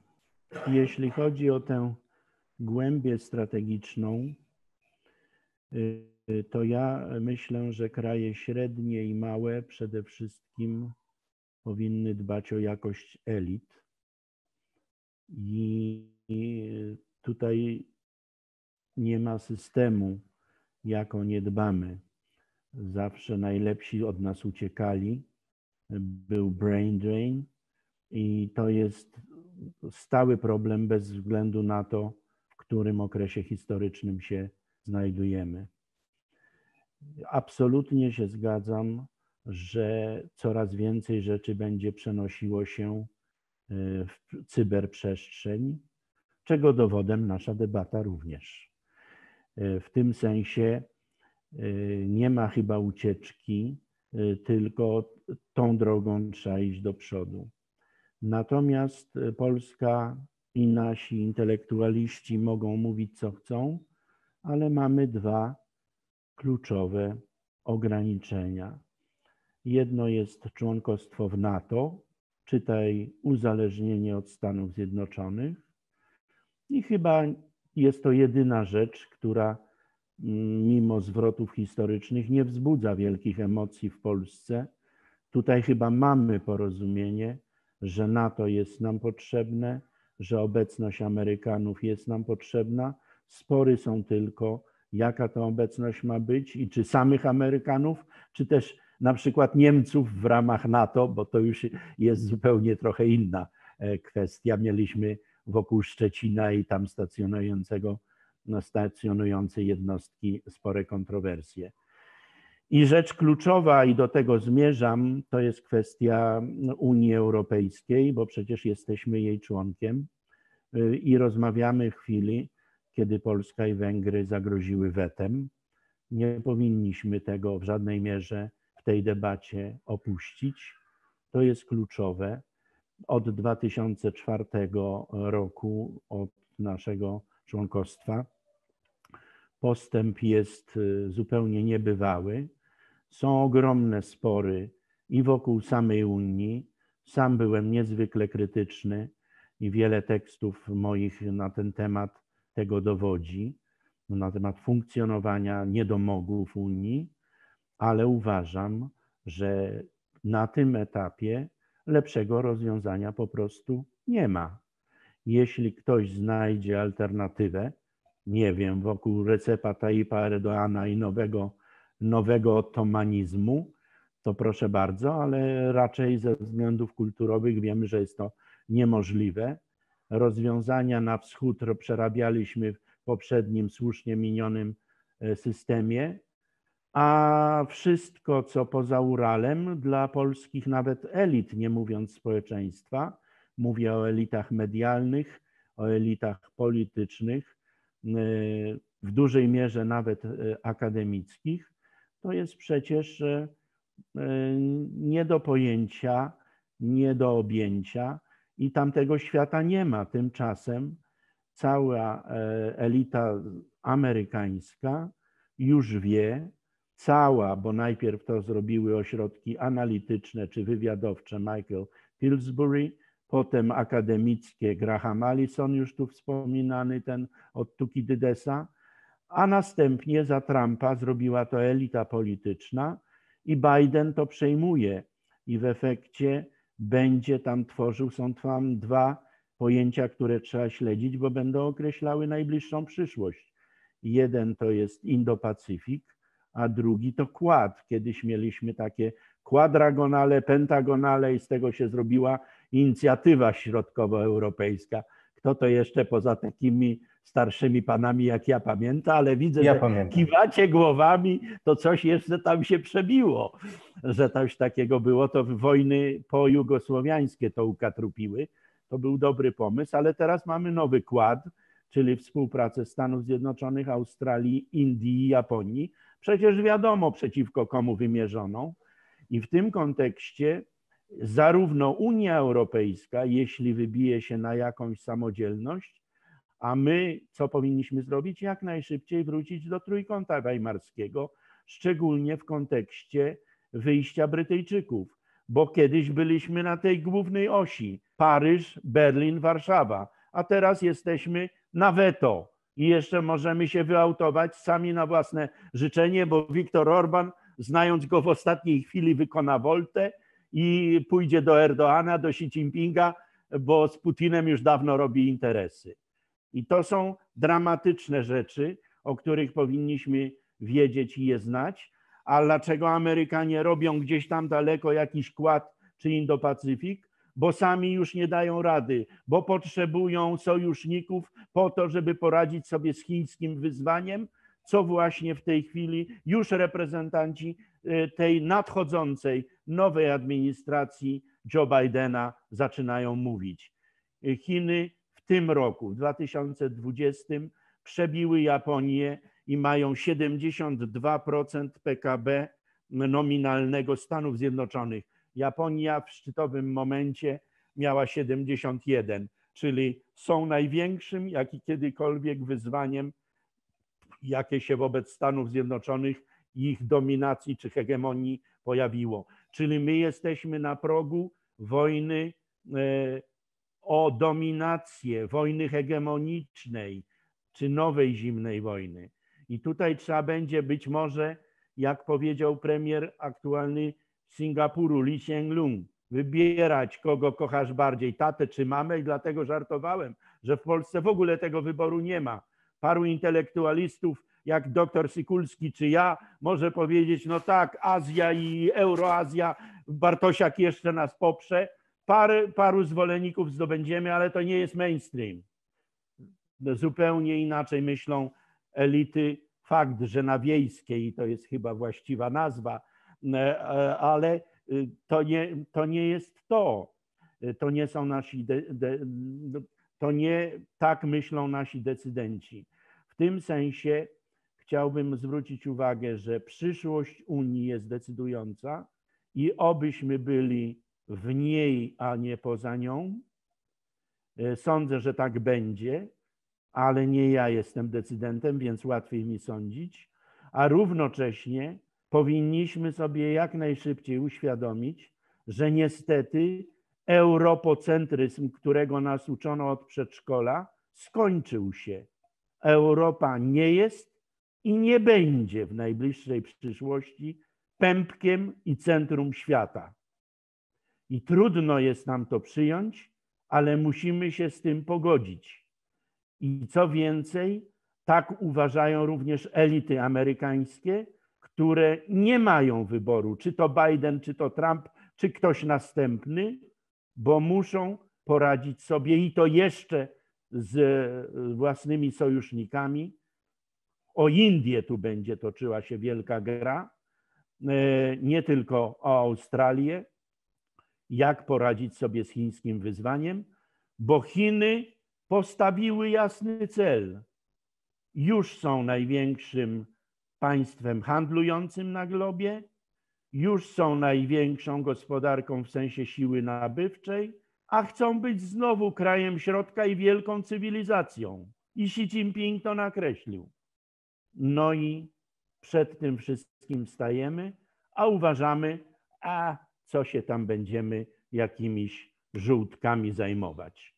A tu okazuje się, że trzeba całe jajko i żółtko i, i białko razem stworzyć, po to, żeby nim w odpowiednim momencie rzucić. E, może pani Magda, widzę, że jest przerażona, że wulgaryzuje, ale sprowadzam wszystko do jaja, czyli do istoty rzeczy, e, a mianowicie tej, że ten świat, który przed nami, naprawdę będzie inny niż ten świat, który za nami, i musimy, debatując e, online, wirtualnie, e, nad tym rozważać, żeby być przygotowanym, jak już wreszcie szczepionka zadziała. Tyle powiem na tym etapie. Panie Leszku, pan doktor Leszek Sokulski chciał się odnieść, jak rozumiem, tutaj do tak, tego, ale, ale, ale profesor. krótko. Oczywiście dzisiaj to, to jest pytanie jeszcze szersze. W jaki sposób, myśląc o samodzielności strategicznej Rzeczypospolitej Polskiej, odnosimy się chociażby do takich e, inicjatyw, czy takich propozycji inicjatyw, jak Eurazjatycka Strefa Wolnego Handlu. Oczywiście tutaj nawiązuje do tego, co się wydarzyło kilka dni temu, 15 listopada, kiedy podpisano e, tę umowę o strefie wolnego handlu w Azji, właściwie nie tylko w Azji, bo i w Azji i w Oceanii. Mówię o RCEP, o Regional Comprehensive Economic Partnership. 10 krajów ASEAN, 3 kraje Azji Wschodniej, 2 kraje Oceanii. E, które to podpisały. I to jest wielkie dzisiaj wyzwanie obejmujące ponad 2 miliardy 200 milionów e, ludzi, 30% światowego PKB, e, mający tak naprawdę ogromne, będący tak naprawdę wyzwaniem strategicznym ogromnym dzisiaj dla e, świata, mm, świata atlantyckiego, bym powiedział, dla świata Atlantyku. I rzeczywiście przyszłość należy do e, Indo-Pacyfiku, ale także do Eurazji. I tutaj zastanówmy się nad tymi e, koncepcjami stworzenia, bo i takie głosy przecież pojawiają się we Francji, czy, czy w Niemczech, czy w ramach tego, mm, powiedzmy, trójkąta petersburskiego, oś Paryż, Berlin, Moskwa, aby stworzyć eurazjatycką strefę wolnego handlu. Mówi Siergiej Karaganow, profesor rosyjski, aby stworzyć strefę wolnego handlu od Lizbony do Władywostoku. Gdybyśmy to jeszcze poszerzyli o e, obszar RCEP, no to w tym momencie mamy do czynienia e, tak naprawdę no, z makinderowską potęgą, czyli z tym absolutną dominantą geopolityczną na, e, na, na świecie. W jaki sposób tutaj Polska powinna grać? Moim zdaniem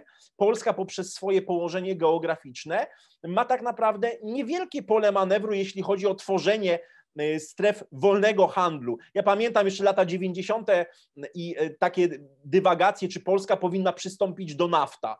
Na przykład. No, to były jakieś kompletnie abstrakcyjne, abstrakcyjne dyskusje. Dzisiaj rzeczywiście kluczowa dyskusja to jest po pierwsze ta, jak będzie wyglądała przyszła Unia Europejska i jaki, jaki, za jakim kształtem Unii Europejskiej się opowiadamy i jak powinny wyglądać relacje między Unią Europejską a tworzącą się, y, tworzącymi się zrębami eurazjatyckiego, eurazjatyckiej strefy wolnego handlu, bo widzimy, że i ten projekt chiński i nazwijmy go w cudzysłowie oczywiście chiński i ten projekt rosyjski, bardzo się ślimaczący, ale myślę, że prędzej czy później y, także nabierze realnego, realnego kształtu, y, są dzisiaj absolutnymi wyzwaniami także dla naszego kraju. Pan profesor Góralczyk. Dwie uwagi. Jeśli projekt rosyjski, to to jest koniec Unii Europejskiej, ten trójkąt petersburski i musimy to brać pod uwagę. Natomiast jeśli chodzi o recept, to na Twitterze wszedłem w bardzo ostry bój. E, kto to śledził, ten wie, e, bo nasze ośrodki analityczne uznały wbrew e, temu, co mówi pan doktor Sykulski, że to nie ma żadnego znaczenia, że to jakaś wydmuszka, dlatego że nie ma tam Stanów Zjednoczonych, a tam, gdzie nie ma Stanów Zjednoczonych, to nie ma to żadnego znaczenia. A na dodatek jeszcze to z poduszczenia chińskiego, bo to Chińczycy nakręcili całą tę paradę. Ja oczywiście mam zupełnie inne zdanie i wiedzę na ten temat. Tyle tylko chcę powiedzieć, że to nie jest klasyczna strefa wolnego handlu, to jest coś znacznie więcej i głębiej bo my w Unii Europejskiej mamy coś, co się nazywa cztery wolności: swobodny przepływ towarów, kapitałów, usług i ludzi.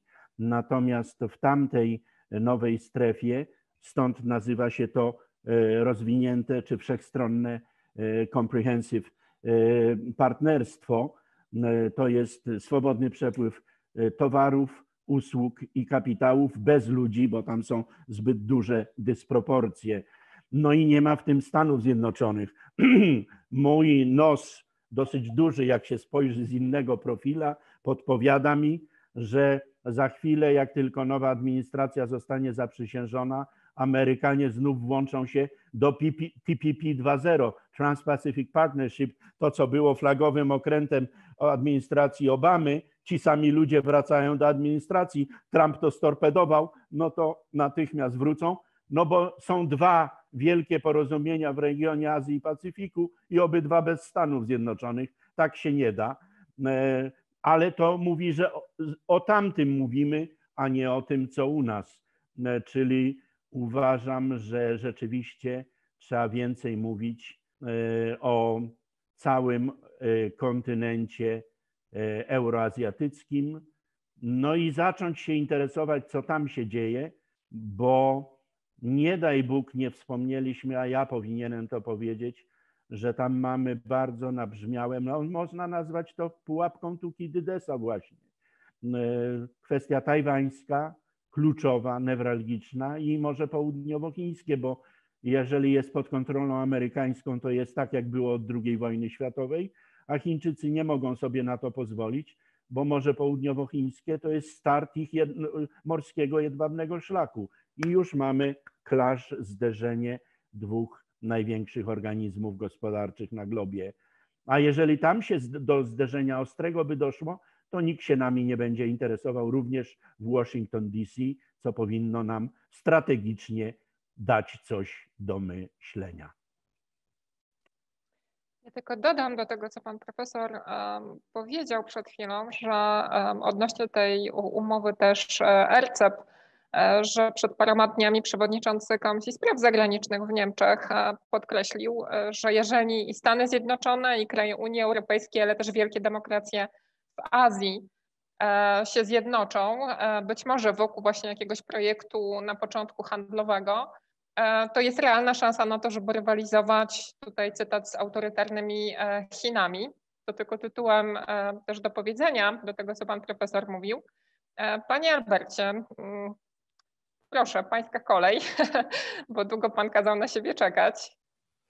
Dobrze, to ja może wspominając jeszcze o tym, co pan, pan doktor Sykulski mówił o demografii i o tym, jak, jak fatalnie kształtuje się obecnie demografia w na zachodzie, tak, w ramach cywilizacji zachodu. Wydaje się, że to wraca też do, do, do tego, co mówił na samym początku z kolei profesor Góralczyk o pewnym przesileniu cywilizacyjnym, o, nie, można mówić o Szpenglerze na przykład w tym kontekście, prawda, Decline of the West. Z kolei na to się nakłada również i to wraca do, do, do ideału, czy do, do, do idei skomunikowania całej Eurazji infrastrukturą transportową. Wydaje mi się, że Amerykanie pójdą na wojnę, żeby tego uniknąć, jeśli tak, Spikeman i, i sam pomysł. Jak, to, rzeczywiście to stanowi zagrożenie egzystencjalne, może być postrzegane za zagrożenie egzystencjalne dla, dla, dla Stanów Zjednoczonych. Warto w tym kontekście też do, zauważyć, że jeżeli doszłoby do skomunikowania lądowego tych państw, to stanowiłoby to odwrócenie trendu istniejącego od 500 lat, czyli od e, takiej naturalnej przewagi, którą dysponują państw mocarstwa morskie dysponujące łatwym, otwartym dostępem do oceanu światowego. I to, ponieważ handel jest najprostszą, najbardziej pierwotną formą akumulacji kapitału, to dawało im absolutnie gigantyczną przewagę. Próba utworzenia pasa i szlaku o jego lądowej, lądowej odnogi, w tym sensie jest kopernikańskim przewrotem na powrót. No i rzeczywiście dla Polski to jest potencjalnie bardzo, bardzo korzystne, tak? bo pozwala nam odwrócić tą dość niefortunną sytuację, w której się znaleźliśmy. Jesteśmy, w najlepszym razie jesteśmy, znaczy, jesteśmy położeni nad jeziorem w gruncie rzeczy, tak? zamkniętym e, cieśninami duńskimi, mamy ograniczony dostęp do handlu morskiego. Nigdy państwem morskim nie byliśmy tak naprawdę, tak w pełni. Czy, więc, więc samo to niesie ze sobą i to, to z kolei oznacza teoretycznie może pomóc nam w odwróceniu zjawiska, które nazywa się dualizmem na łapie. Tak jak w związku z tym, że jak zauważył profesor Kuralczyk, prawdopodobnie, chociaż wie pan, wiele państw zdawało się, że podjęło już decyzję. Mówiło się tak o Wielkiej Brytanii. Wydaje mi się, że na razie państwami, które zdecydowanie podjęły jednoznaczną decyzję, jest Australia i Japonia. Co do reszty nie jestem przekonany, czy, czy i może Wielka Brytania, ale Wielka Brytania, pamiętajmy, że wykluczy Huawei do 2027 roku. 7 lat, dużo się może wydarzyć przez 7 lat, nie wiadomo. Więc wydaje mi się, że sam fakt, że odsunęli to tak w czasie świadczy o tym, że starają się jednak dość ostrożnie stąpać. Może jeszcze na szybko, pan, pan doktor Sykulski wspomniał o nuclear sharing i o problemie zoperacjonalizowania broni jądrowej. Wydaje mi się, że to, ja z jakiegoś powodu lubię się zajmować nieistotnymi rzeczami. Obawiam się, że broń jądrowa i strategia życia jest jedną z tych istotnych, patrząc na historię kształtowania się strategii, tego, że broń jądrowa nigdy została użyta, a tak naprawdę cały prąd myślowy odpowiedzialny za tworzenie strategii jądrowej istniał sam sobie, a dookoła toczyła się historia i życie i nikt nie zwraca uwagi na, tak naprawdę na, na, na strategię jądrową. Nuclear sharing prawdopodobnie istniałoby po to, przy czym zdaję sobie sprawę, że ta broń po pierwsze, w związku z tym, że jest bardzo ograniczone byłoby jej możliwe użycie przez Polskę, bo są takie rzeczy jak Permissive Action Link, mm, sam fakt, że są to bomby grawitacyjne bardzo ogranicza, jednocześnie mimo wszystko to przede wszystkim wpływa na kalkulacje i w ten sposób działa stabilizująco na system. Podobnie zresztą jak y, military build-up, do którego, jak sądzę, i to siłą rzeczy military build-up jest wymierzony w Rosji, tak? zwiększenie zdolności wojskowych. To jest nie do nie do uniknięcia, ale jednocześnie rozbudowa tych zdolności, do których użycia jest stabilizująca. Najprostszy mechanizm odstraszania. Mm, jeszcze głębia strategiczna i absolutnie zgadzam się, że ten, proszę wybaczyć, trój soft power jest, jest potrzebny, jest prawdopodobnie podstawą, tak samo jak siła ekonomiczna jest podstawą utworzenia jakiejś projekcji siły, tak, wpływów na nasze sąsiedztwo i od tego powinno się zacząć. Jednocześnie, no, po pierwsze, historia wydaje mi się, że szczególnie w ostatnich kilkuset latach wskazuje, że Polska jest jednak wybitnie z uwagi na swoje położenie narażona na, na, na to, że na jej terytorium będą miały miejsce konflikty zbrojne. A jeżeli te konflikty nie miały miejsca, to dlatego, że Polska zajmowała albo mocarstwową, albo quasi-mocarstwową pozycję i sama się zadaniowała i tworzyła odrębne centrum. Tak, tak sądzę odrębny rdzeń. No, panie doktorze, Króciutko, pan profesor Góralczyk też na samym wstępie powiedział o tym e, kodzie geopolitycznym, tego zagrożenia jednoczesnego Polski z dwóch kierunków geograficznych. No, gwoli ścisłości historycznej czy geopolitycznej warto tylko przypomnieć, że w całej swojej historii ponad tysiącletniej Polska jednocześnie z dwóch kierunków geograficznych było czterokrotnie, zaledwie czterokrotnie e, zagrożona, czyli w wieku XIV zakon krzyżacki tutaj Luksemburgowie, w wieku, w wieku XVII oczywiście Turcy i Szwedzi, no i wiek oczywiście XVIII rozbiory Polski, doskonale wiemy wschód-zachód i podobnie czwarty rozbiór Polski również wschód-zachód. Myślę, że jeżeli chodzi o broń jądrową, to nie, dzisiaj musimy uwzględniać RMA, musimy roz, uwzględniać rewolucję w sprawach wojskowych. To, że dzisiaj e, użycie, że dzisiaj wojna nie musi się rozpocząć na granicach. I to podkreślam dzisiaj absolutnie. I ten konflikt, który został zawieszony 10 listopada tego roku e, w Górskim Karabachu, doskonale pokazuje, że dzisiaj nasza debata i e, te, to mówienie o zakupie, moim zdaniem, białych słoni, jakimi są F6, F-35, zresztą bez przetargu, ale to tak na marginesie, e, jest taką, można powiedzieć, pustą debatą, ponieważ ona kompletnie nie uwzględnia tego, że Polska dzisiaj nie posiada nowoczesnego systemu obrony powietrznej, już nie tylko przeciwlotniczej, ale w ogóle kompleksowego systemu obrony powietrznej. I mam tutaj na myśli zarówno infrastrukturę krytyczną, jak i oczywiście e, kwestie odporności naszych jednostek wojskowych, baz chociażby lotniczych e, i sama debata o zakupie nowych 800 czołgów na przykład w kooperacji z, Kore, z Koreańczykami, jak się ma do zastosowania dronów we, na, we współczesnym polu czy przestrzeni walki. No spójrzmy na tą lekcję sześciotygodniową, jaką e, Azerowie wspólnie z Turkami, a właściwie to Turcy rękami azerskimi pokazali całemu światu, rozszerzając, przenosząc doświadczenie z Libii czy z Syrii, dziesiątkując tak naprawdę siły pancerno-zmechanizowane ormiańskie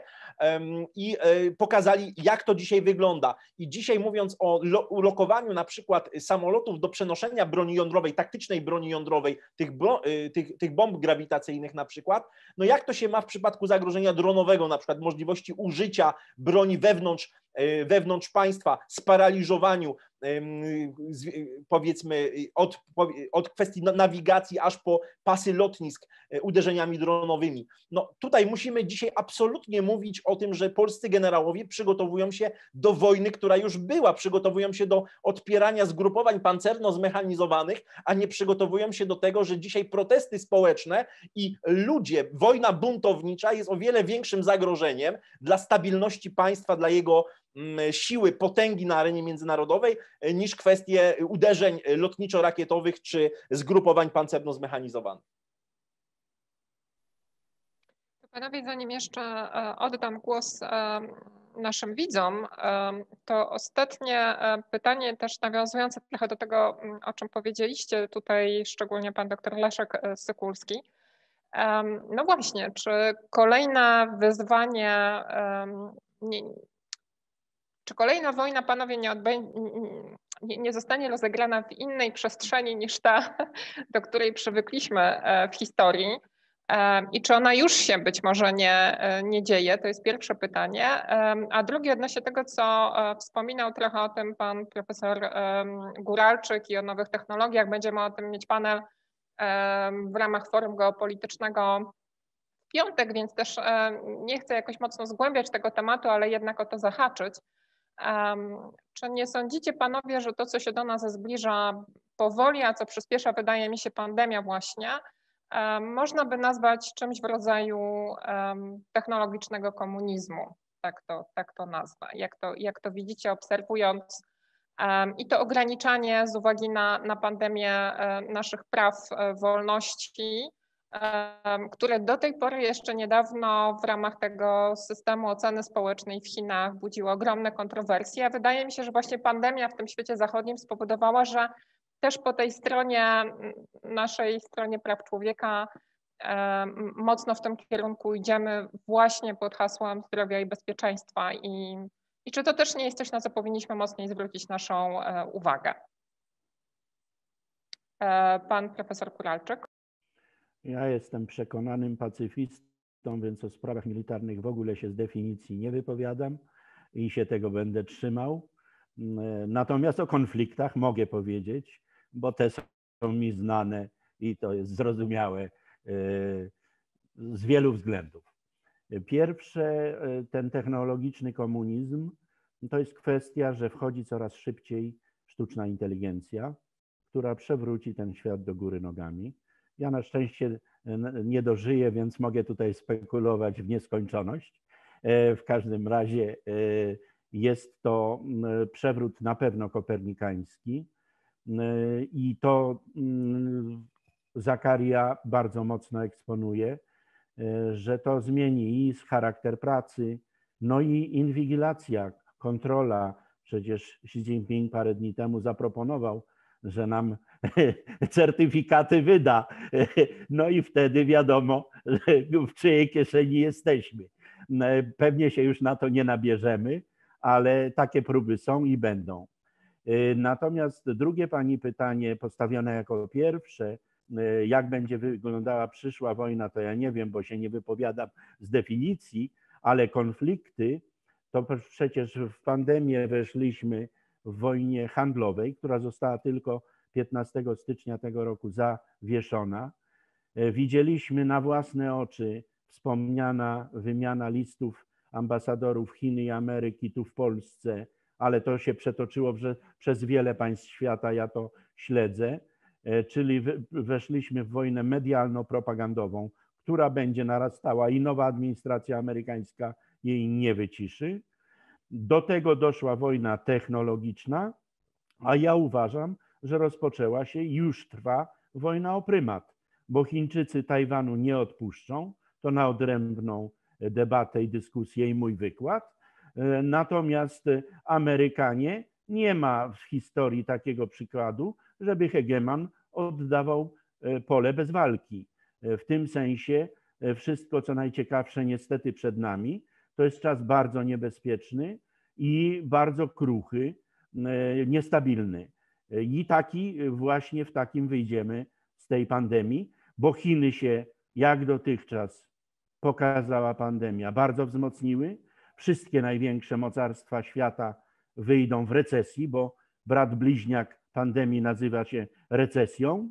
Nie wspomnieliśmy tego, bo nie jesteśmy ekonomistami, e, ale Chiny nie. Chiny będą miały wzrost mniejszy, rzędu 2-3%, ale jednak wzrost czyli znowu odskoczą e, Zachodowi i jeszcze większym wyzwaniem staną się wobec Stanów Zjednoczonych. A przecież jeżeli by przejęły Tajwan, to Tajwan, chociaż ma 23,5 miliona mieszkańców, to ma PKB porównywalne z Polską. To automatycznie byłoby największe mocarstwo świata.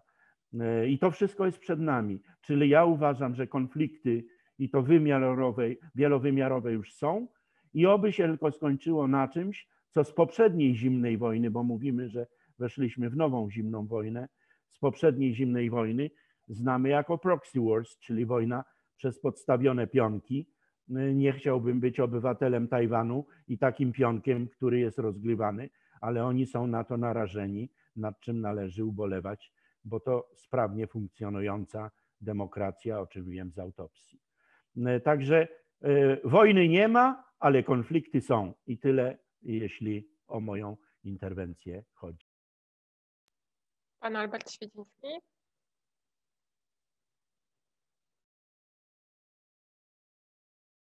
Słyszymy pana. Wojen nie ma, ale rozgorzeje taka walka o pokój, że kamień na kamieniu nie zostanie. Jeszcze wracając do konfliktu Armenii z Azerbejdżanu, po pierwsze wydaje mi się, że to pokazuje, że tragedie dziejowe naprawdę się zdarzają, tak? również w dzisiejszych czasach, a w realiach pułapki Kinderbergera próżni bezpieczeństwa będzie więcej prawdopodobnie sytuacji tak, takich potencjalnie zapalnych, której pomyśl nabycie przez Armenię myśliwców Su-30 pokazuje, jak fatalnie kończy się kupowanie tak zwanych status weapons. Status weapons to jest to się odnosiło do Afryki, kiedy jakieś tam plemiona zdołały zestrzelić siły specjalne USA i szef wioski dostawał karabin po nich. Tak? I to jest broń statusowa, pokazująca status, natomiast nie mająca faktycznej, faktycznego miejsca w doktrynie. E, innymi słowy, co się dzieje, kiedy, kiedy dane państwo nie dorośnie do samodzielności strategicznej musi sobie radzić. Tak? Czasami kończy się to źle. Um, Wydaje mi się, że wracając do Polski jeszcze, to i do tego, co mówił e, doktor, pan doktor Sykulski, to, to trudno mi powiedzieć, wymienić coś ważniejszego niż utworzenie własnych, niezależnych od Stanów Zjednoczonych czy od innych naszych sojuszników systemu świadomości sytuacyjnej. to znaczy imintu, tak? zdolności do, do posiadania satelit własnych. Tak? To nie jest aż tak absurdalnie drogie, jak jeszcze do niedawna było. Więc, więc wydaje mi się to podstawą. E, zdobycie też zdolności do, do, do to mówię to Jackiem, ale podpisuję się absolutnie do, do kontroli, do, przynajmniej zdolności do kontroli części drabiny eskalacyjnej. Jeśli chodzi o, nie wiem, nie wiem czy o to panu doktorowi Cykulskiemu chodziło, o, o bezpieczeństwo baz, na których miałaby przybywać broń jądrowa w ramach nuclear sharing. Akurat myślę, że wtedy nie celowali, jeśli o to chodziło, akurat myślę, że wtedy nie celowali Rosjanie. Tych, tych, tych raczej staraliby się uniknąć, dlatego że to niesie ze sobą ogromne ryzyko niekontrolowanej eskalacji. Tak? To jest tak samo jak wydaje mi się, że Amerykanie, nawet jeśli zaangażowaliby się w konflikt, hipotetyczny konflikt z Rosją, to bardzo starannie staraliby się dowiedzieć, w których bazach przechowana jest broń jądrowa i trzymać się od nich z daleka, bo to może być postrzegane jako defanging strike, tak? jako uderzenie, które odbiera możliwość reakcji za pomocą środków jądrowych. Po prostu się nie, raczej się tego nie robi, ale, ale no.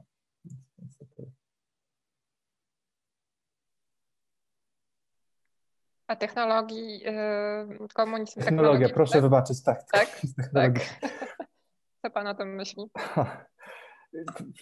Mam, mam sprzeczne odczucia, mówiąc. Z jednej strony oczywiście mamy do czynienia z gafą, tak? E, czy FANG, czyli z tymi gigantami, którzy, którzy osiągnęli właściwie monopol, no, monopol tak, na tym rynku.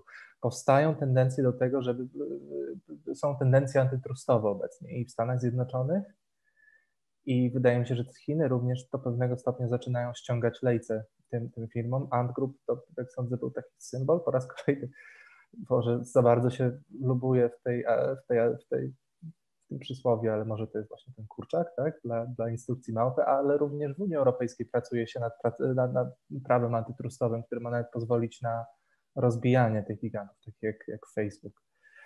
Mm, jednocześnie jestem zupełnie świadomy wzrostu roli tych, tych, tych podmiotów, a, a jeszcze kolejny jest, no, odnoszę wrażenie, że wcale nie jest, nie, niekoniecznie musi być tak, jak przewidywało to Parakana, że nastąpi jednoznaczne zmniejszenie roli państw. Wydaje mi się, że raczej wraca geoekonomia, a wraz z nią siła prywatnych podmiotów może być po raz kolejny brana, ściągana. Tak? Być może rządy centralne będą ściągać im lejce. Natomiast nie potrafię konkluzywnie odpowiedzieć na to, czy, czy, czy, czy grozi nam komunizm cyfrowy. Panie doktorze, doktor Leszek Sokolski. Mm, to punktowo. Wiem, że nas czas goni, więc punktowo. Jak będzie wyglądała nowa wojna i e, czy będziemy mieli do czynienia z technologicznym, jak to mm, tutaj pani moderator powiedziała, e, komunizmem? Ja bym powiedział, że będziemy mieli do czynienia, czy jesteśmy na początku wprowadzania technologicznego totalizmu, totalitaryzmu technologicznego, który jest związany oczywiście nie tylko z rozwojem sztucznej inteligencji, ale w ogóle z rewolucją e, NBIC E, z szeroko pojętym nurtem transhumanizmu, czyli głębokiego ingerowania w naturę człowieka. E, ciekawość ludzka, ciekawość rządów, chęć do poszerzania swojej władzy niewątpliwie napędza nie tylko wyścig zbrojeń, nie tylko wyścig kosmiczny, bo ta domena kosmiczna, astropolityka, astrostrategia to niewątpliwie są czynniki, które będą wpływały na pewno w drugiej połowie tego wieku na układ siły interesów na Ziemi, ale, ta, ale wcześniej myślę, że geopolityka polarna, wyścig o wodę, jakby geopolityka wody, same Chiny mają dzisiaj problem, czy będą miały na pewno bardzo duży problem w, najbliższych, w ciągu najbliższych dwóch dekad z dostawami wody. Nowe pierwiastki, surowce ziem rzadkich, kwestia Helu 3, górnictwa kosmicznego, to są elementy, które będą miały bardzo istotne znaczenie także jak kwestia chociażby odpaństw, odpaństwowienia wojen, czy zacierania się różnicy między okresem pokoju a okresem wojny. Sytuacja, w której tak naprawdę konwencja haska trzecia z 1907 roku i tak już dzisiaj nie funkcjonuje, nie jest stosowana, nie mamy do czynienia z wypowiadaniem, z wypowiadaniem wojny. Kwestia oczywiście cyberprzestrzeni, ale czy przestrzeni informacyjnej bardzo szeroko rozumianej, użycia dronów podwodnych do szpiegostwa, kwestia oczywiście infiltracji światłowodów, które zapewniają komunikację, dostęp do, do sieci itd., tak itd. Tak Zgadzam się oczywiście kwestia świadomości sytuacyjnej, ale pamiętajmy o rewolucji kwantowej, o perspektywie stworzenia komputerów kwantowych, o broni antylaser, o broni antysatelitarnej, między innymi broni laserowej. To jest wszystko, to nie jest science fiction, to jest dzisiaj tak naprawdę sytuacja, która się rozgrywa na naszych oczach i musimy absolutnie mieć to na, y, na uwadze. No i oczywiście systemy antydostępowe A2AD, to myślę, że y, rozwój tych systemów będzie bardzo szalenie, szalenie istotny w tym zakresie. Tyle w, telegra w telegraficznym skrócie. A więcej zapraszamy na studia podyplomowe, prawda? Przyłączam się do zaproszeń. Zapraszamy na studia Geopolityka i Geostrategia. Zapraszamy. E, też Państwu polecam jako słuchaczka, e, tym bardziej. I myślę, że możemy teraz przejść do, do pytań widzów. Tak, teraz ja się e, dołączam do, do naszej dyskusji. Ja zacznę, zanim już przejdę do pytań. Tych pytań jest bardzo dużo, prawie 30, więc nie zdążymy siłą rzeczy e, zadać wszystkich. Tutaj postaram się wybrać takie, może też wątka, które nie padły podczas naszej już dyskusji. E, tylko odniosę się do wspomnianego komentarza panów dotyczącego regionalnego kompleksowego partnerstwa gospodarczego. Zachęcam po zakończeniu naszej debaty do zajrzenia na stronę rotmyślnikloc.pl. Dzisiaj ukazał się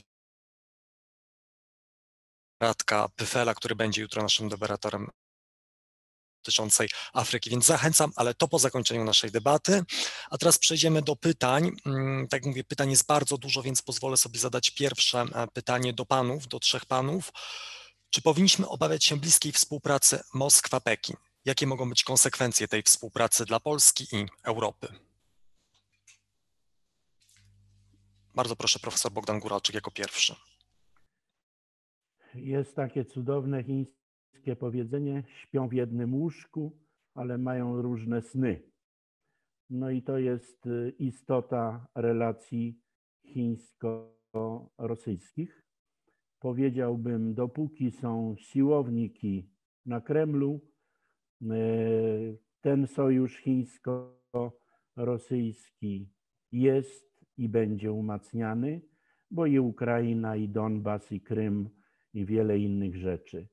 Natomiast w elitach i była w Strategy in Future rozmowa na ten temat z wybitnym przedstawicielem e, myślenia rosyjskiego geopolitycznego.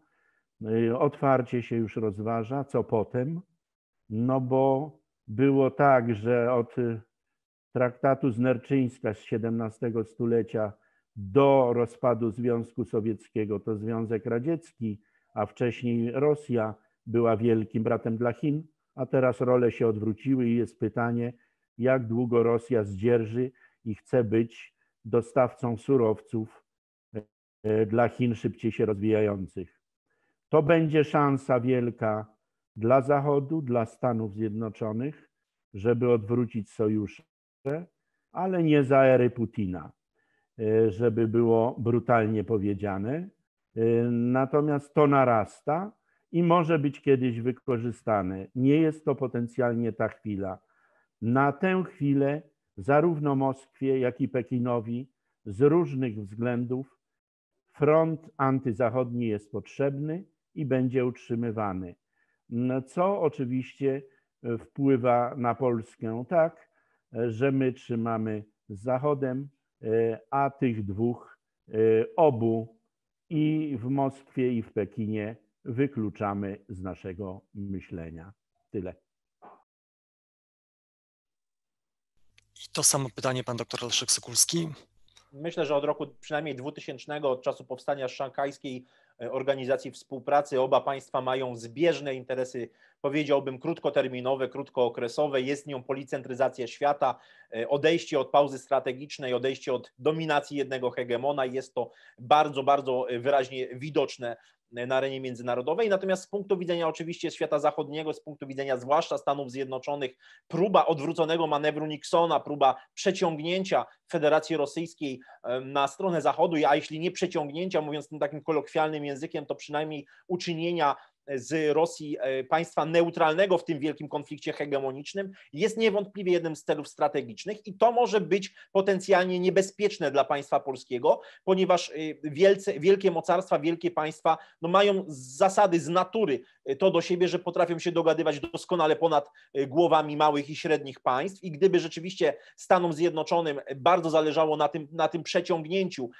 Federacji Rosyjskiej na stronę świata atlantyckiego w starciu hegemonicznym z Chinami, no to wówczas pytanie, czy nie odbyłoby się to kosztem interesów państwa polskiego. I to jest niewątpliwie jedno z tych, z tych wielkich zagrożeń dla naszego bezpieczeństwa, które powinniśmy dyskutować, o którym powinniśmy dyskutować w Polsce. Dziękuję bardzo i na koniec pan Albert Świdziński, bardzo proszę.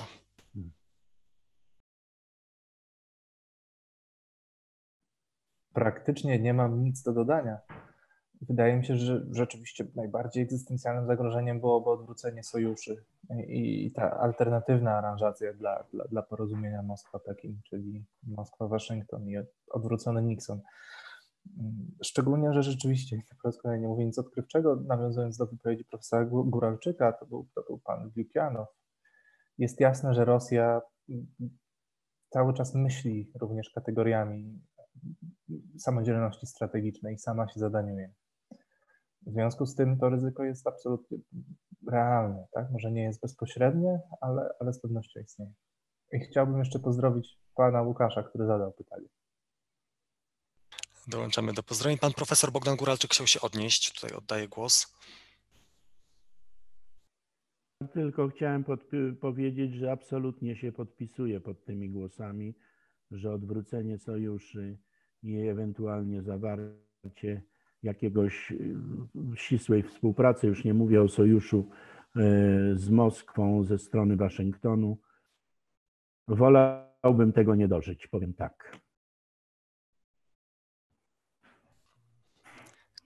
Kolejne pytanie. Tutaj konkretnie mam to pytanie e, ze strony naszych, ze strony naszych widzów do pana profesora Bogdana Góralczyka. E, wspomniał pan o administracji, o dojściu do władzy administracji Bidena i o e, piwocie na powrót do, do wartości. Jakie pana zdaniem, jakie to wartości ma pan na myśli? Bo tutaj jeden z naszych widzów przytacza, że problem ludzi Zachodu polega właśnie na braku wartości. Dzieci nie marzą już o byciu naukowcem, fizykiem czy astronautą, a młode pokolenie wychowane jest w oparciu o wartości, marzy o tym, żeby być na przykład youtuberem. Więc pytanie tutaj ze strony naszego widza, no, czy jest do czego wracać w takim układzie? Yy, rzeczywiście wymaga to uściślenia. Mamy wojnę aksjologiczną, bardzo ostrą, między Europą liberalną i nieliberalną, to jest konflikt aksjologiczny, a więc o wartości.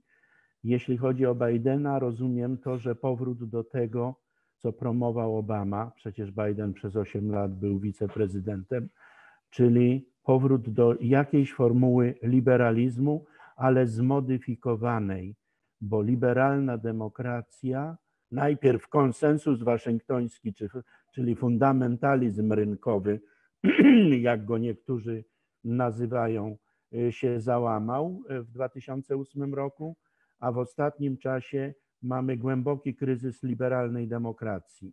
Y, Trump to obnażył całkowicie. Tym niemniej do tego values-based order, czyli opartego na liberalnych wartościach porządku światowego, począwszy od relacji transatlantyckich. Administracja Bidena będzie chciała wracać i jestem tego głęboko przekonany, bo wiem, y, jak Biden postępował i znam, tak się złożyło trochę pana Blinkena y, i jego ścisłe związki z Europą, w tym Europą Środkową, że on na wartości demokratyczne, czyli te zasady praworządności, o których tyle teraz w Europie i w Warszawie również i w Budapeszcie się mówi, Amerykanie do tego wrócą. Nie jest to dobra wiadomość dla obecnie rządzących e, w Budapeszcie czy Warszawie, ale właśnie tego się spodziewam. Bardzo ja proszę, pan Albert Świziński dziękuję. Jeśli, jeśli mógłbym mały adwocem do wartości i do tej dynamiki, o, o której mówiliśmy odnoszę do, przede wszystkim też do badań, które, które Pan wspomniał, Panie Pawle, o, o tym, że dzieci w Chinach marzą, żeby zostać y, kosmonautami, a dzieci w Wielkiej Brytanii w Stanach Zjednoczonych marzą, żeby zostać youtuberami. I, I, w tym kontekście może się okazać, że Elon Musk, który jest wizjonerem, jest jednocześnie dinozaurem tak? I, i wymierającym gatunkiem paradoksalnie. Jeszcze do tego, jakie wyzwanie stoi przed Stanami Zjednoczonymi, wydaje mi się, że jeżeli Stany Zjednoczone nie będą sobie w stanie, nie będą, nie znajdą sobie siły, żeby przeprowadzić kolejny moonshot, tak? kolejny bardzo ambitny projekt, taki cywilizacyjno-techniczny powiedzmy, pozwalający im wyjść znowu przed, przed Chiny, jeżeli chodzi o innowacyjność, szczególnie w przełomowych technologiach, w kwantowych właśnie, w sztucznej inteligencji, w telekomunikacji, jeżeli nie znajdą z dynamiki społecznej, tak? bo to tak naprawdę mówi się o uwiądzie takich instytutów badawczych jak Bell Labs na przykład, czy innych takich, ale to sądzę, że problem idzie znacznie głębiej do, do systemu edukacji nawet podstawowej, więc jeżeli Stany Zjednoczone nie będą w stanie wykrzesać z siebie dynamiki i takiej głodu e, do, do, do, odkrycia, tak? zaczynającego się od wczesnych, wczesnych lat dziecięcych, tak żeby dzieci znowu chciały być kosmonautami, a nie a nie youtuberami, to będzie im niezwykle ciężko wygrać tę wojnę, tę rywalizację, szczególnie w długiej, długiej perspektywie. E, do pana do doktora Leszka Skulskiego, czy chciałby się pan odnieść do tego pytania? Myślę, że kwestia wartości, kwestia tego, jak definiujemy naszą tożsamość cywilizacyjną, to co nazywa często na przykład na Zachodzie Wielkiej Brytanii, czy nawet, ale także w naszej części Europy, na przykład w Estonii, jest nazywane geopolityką cywilizacyjną. Co rozumiemy przez pojęcie cywilizacji Zachodu? Dzisiaj bardzo często mówimy o cywilizacji Zachodu, o Zachodzie, ale tak naprawdę co w zakresie aksjologii rozumiemy przez ten fakt? No bo jeśli, zrozumie, jeśli tutaj postawimy na wolność, jednostki na przykład, to jakie, to pada strategiczne pytanie, jakie szanse realne w kategoriach układu sił mają państwa demokratyczne, państwa liberalne w starciu z państwami autorytarnymi czy, czy totalitarnymi, które są w stanie y, kontrolować y, za pomocą wielkich baz danych i oczywiście nadzoru, systemu kontroli społecznej swoje społeczeństwa. Chińczycy dzisiaj są w stanie operować, czy operują już ogromnymi systemami bazodanowymi i są w stanie, y, jeżeli chodzi o system zaufania społecznego czy system kredytu społecznego, są w stanie naprawdę egzekwować wolę polityczną w sposób o wiele bardziej mm, daleko idący niż społeczeństwo, niż władza w Polsce, czy w Niemczech, czy we Francji. Zresztą spójrzmy na to, co się dzieje obecnie w Europie, na kryzys migracyjny, kryzys wartości, na protesty społeczne, zamieszki społeczne. Y, czym dzisiaj jest Europa w znaczeniu wartości? Czy jest Europą, e, czy jest cywilizacją łacińską, jakby e, powiedział Felix Koneczny świętej pamięci e, i przez pryzmat jego teorii cywilizacji z 1935 roku, no bardzo śmiem to wątpić dzisiaj, patrząc na te, na, te, na, te, na te systemy. To jest oczywiście pytanie otwarte i nie chcę tutaj dawać gotowej odpowiedzi. Myślę, że to jest kwestia bardzo głębokiej dyskusji. Czym dzisiaj jest Europa i czym powinna być i czym chcielibyśmy, żeby Unia Europejska była w zakresie wartości, bo pamiętajmy, że w walce e, informacyjnej jest to jeden z kluczowych elementów. Kwestia tożsamości, spójności i lojalności społeczeństwa wobec swojego państwa, swojej cywilizacji. To jest dyskusja, która toczy się cały czas i do której co jakiś czas wracamy, tak powiem, na, na agendę europejską. Pozwolę przejść sobie już do następnych e, pytań. Tym razem zadam pytanie, które pojawiło się na Facebooku.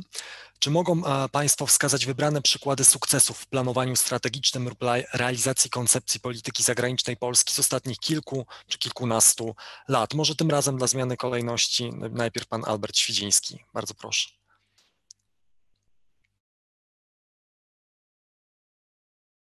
Mikrofon proszę włączyć. To oczywiście zależy od tego, w jaki sposób chciałby się zdefiniować. Z jednej strony, jak sądzę, Polska być może ponosząc koszty, mm, opportunity cost tak zwane, zdołała dołączyć do świata zachodu, do systemu zglobalizowanego wymiany finansowej, przy czym y, gospodarczej, ekonomicznej. Przy czym jednocześnie no, odbyło się to kosztem tak, pewnej dozy sprawczości czy, czy, czy własnego przemysłu, który siłą rzeczy ucierpiał na tym. Więc, więc w ten sposób dołączenie, dołączenie do, zglobalizowanej system, do zglobalizowanego systemu wymiany e, gospodarczej można poczytać za sukces. Dziękuję bardzo. Pan doktor Leszek Sokulski.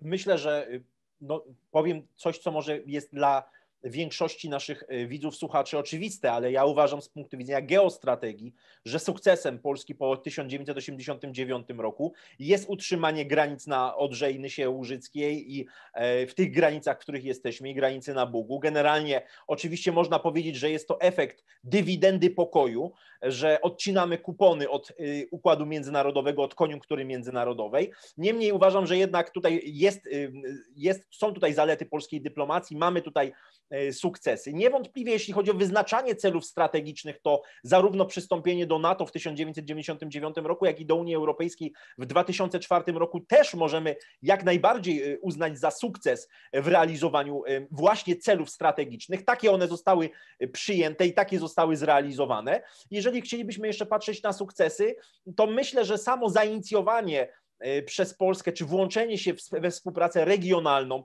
nie dość głębokie, ale jednak jeśli chodzi o chociażby Grupę Wyszehradzką, czy e, kwestię niestety już e, nieco zatartą trójkąta weimarskiego, uważam podobnie jak profesor Guralczyk, że absolutnie należy jak najszybciej wrócić do tej formuły współpracy, chociaż ja uważam, że należy ją także rozszerzyć o trójkąt królewiecki, trójkąt kaliningradzki, e, to też, były, to też były sukcesy. Także to nie jest tak, że tylko i wyłącznie odcinamy kupony i tak naprawdę nie mamy nic do, do powiedzenia. Owszem, jesteśmy w stanie to realizować i te kwestie, o których powiedziałem, są tego, są tego przykładem.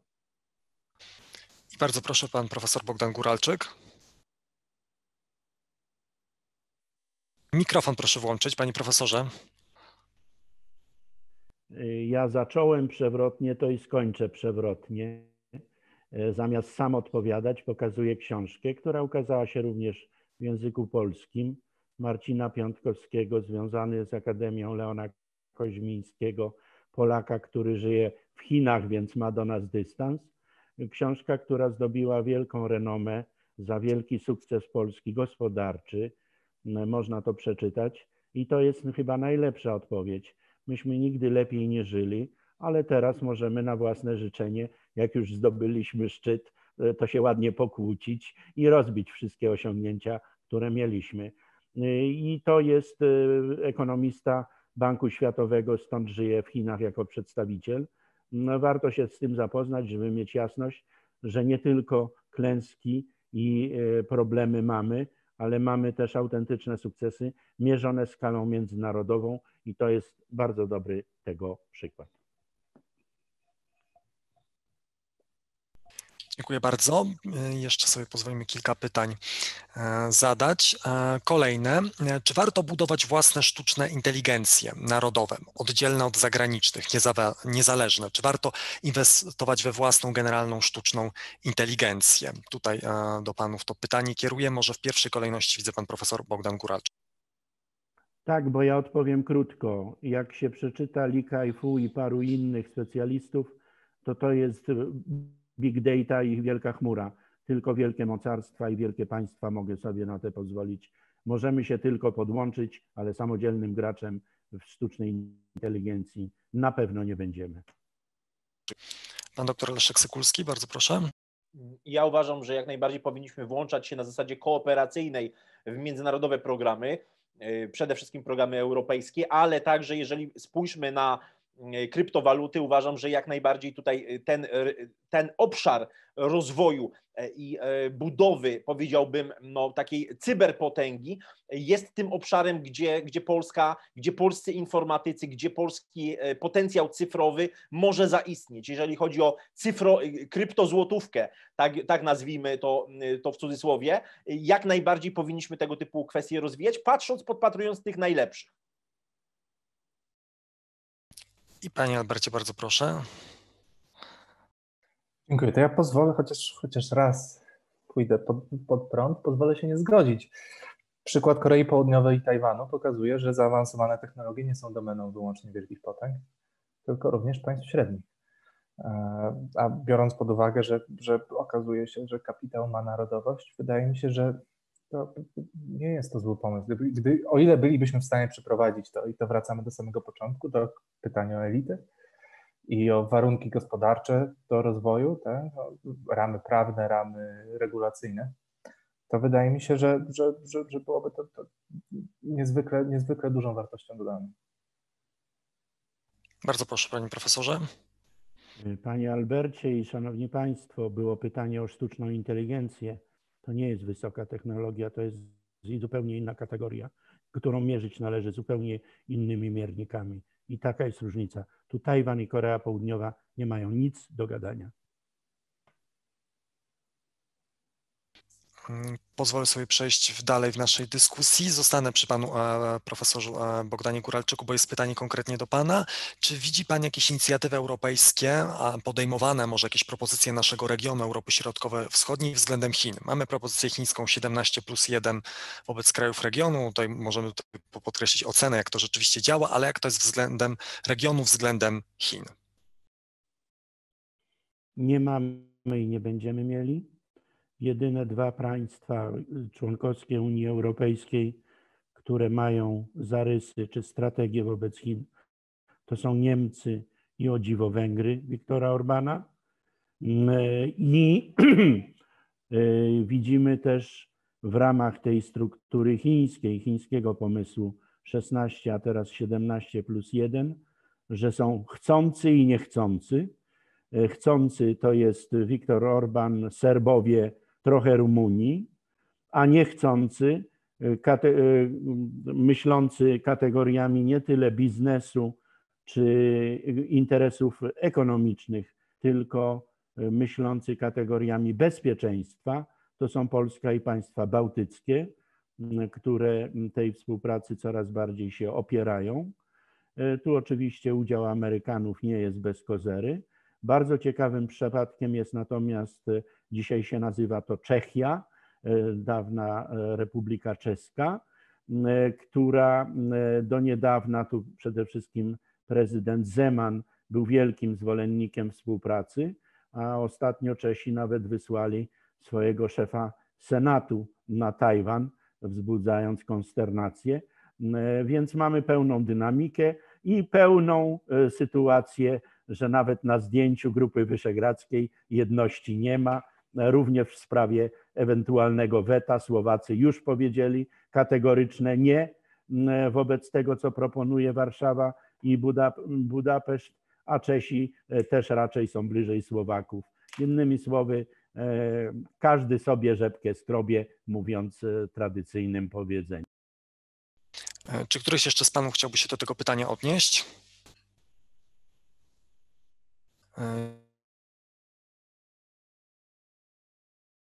Pozwolę sobie zadać ostatnie pytanie, ponieważ czas już nam, e, czas już nam się kończy. E, pozwolę sobie zadać pytanie e, w odniesieniu o, mm, tutaj o element, który już padł w naszej dyskusji, to znaczy o wystąpienie pani minister obrony narodowej Niemiec, Anne październiku tego roku. Jak panowie oceniają wypowiedź pani minister Niemiec czy dotyczącej relacji transatlantyckich? Czy nastąpi jakieś nowe otwarcie USA, Europa, USA, Niemcy i co spowodowała taka zmiana w retoryce niemieckiej? Może zaczniemy od pana doktora Leszka Sykulskiego. Bardzo proszę. Współczesny dialog strategiczny między Stanami Zjednoczonymi a między innymi oczywiście Niemcami jest swego rodzaju grą przetargu, że użyję po raz kolejny e, pojęcia z zakresu teorii gier. E, I tutaj oczywiście e, musimy jakby spojrzeć na to, na pryzmat relacji transatlantyckich w znacznie szerszej perspektywie. Czy z punktu widzenia interesu strategicznego Stanów Zjednoczonych jest silna, powiedziałbym nawet federalna Unia Europejska. To jest jeden z fundamentalnych, e, z fundamental, to jest jedno z fundamentalnych pytań, bo jeśli spojrzymy na e, to spotkanie, które odbyło się pod koniec września 2015 roku w Nowym Jorku, które tak naprawdę zainicjowało e, to, co dzisiaj nazywamy Trójmorzem, inicjatywą Trójmorza, to zobaczymy, że w, inter, w strategicznym interesie, przede wszystkim interesie Stanów Zjednoczonych, a na pewno w okresie prezydentury Trumpa, było rozdzielanie, buforowanie Niemiec i, e, Niemiec i Rosji. Jeżeli George Friedman w Chicagowskiej Radzie Spraw Globalnych w 2016 roku mówił o tym, że Stanom Zjednoczonym jest potrzebny kordon sanitarny e, właśnie między Niemcami a Rosją, to moim zdaniem dotknął istoty rzeczy. Dotknął absolutnie istoty rzeczy.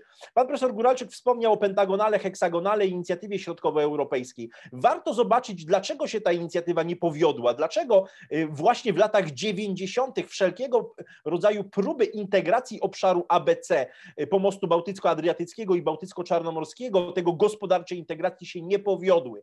No między innymi właśnie prze, przez przeciwdziałanie niemieckie. Jakby projekt Unii Europejskiej, wtedy EWG, był o wiele o wiele atrakcyjniejszym, było wiele większym atraktorem dla państw tego regionu, a zresztą sama polityka niemiecka nawiązująca w pewnych swoich aspektach, w pewnych podkreślam, do koncepcji Mitteleuropy, y, jest zawsze nakierowana na to, aby podporządkowywać sobie tę część Europy. Stąd w tym, w tym jakby widzę, widzę pewne styczne elementy. Ze strony Stanów Zjednoczonych niewątpliwie y, pozyskanie Niemiec, czy też przychylności Niemiec, czy też y, przybranie przez Unię Europejską takiej formuły, która nie będzie zagrażała e, interesom strategicznym Stanów Zjednoczonych, a krótko mówiąc, takim, inter, takim sprzecznością największą byłaby, byłoby połączenie eurazjatyckiej masy kontynentalnej, czy to e, Unii Europejskiej, Unii Eurazjatyckiej, czy to Unii Europejskiej i jakiejś formy nazwijmy to connectivity szeroko pojętej na, na, na obszarze pozostałej Eurazji, no to to jest z punktu widzenia amerykańskiego bardzo istotne. Z punktu widzenia niemieckiego niewątpliwie podporządkowanie sobie obszaru zlewisk, e, mówię o gospodarczym podporządkowaniu zlewisk Adriatyku, Bałtyku i Morza Czarnego jest absolutnie jednym z priorytetowych kwestii. Dziękuję bardzo. To samo pytanie do pana Alberta Świecińskiego. Mikrofon proszę włączyć. Wspomnę może to, co już mówiłem wcześniej. Po pierwsze, nie wiadomo, czy jest to propozycja wiążąca. Trzeba pamiętać, że kadencja kanclerz Merkel dobiega końca. Jeszcze do niedawna pani Karen Bauer miała być jej następczynią. Wygląda na to, że nie będzie. Nie wiadomo też, jak zareaguje, jak jest going concern tak? całych środowisk w Niemczech, jak zareagują środowiska przemysłowe, jak, jak to przyjmą. To koniec końców, pomimo że Pani Karen Barry zaznaczała, że nie wyobraża sobie całkowitego ucięcia relacji ekonomicznych z Niemcami, z Chinami. No, z pewnością nastąpiło przynajmniej częściowe osłabienie mm, wymiany tak, gospodarczej, raczej byłoby to nieuniknione.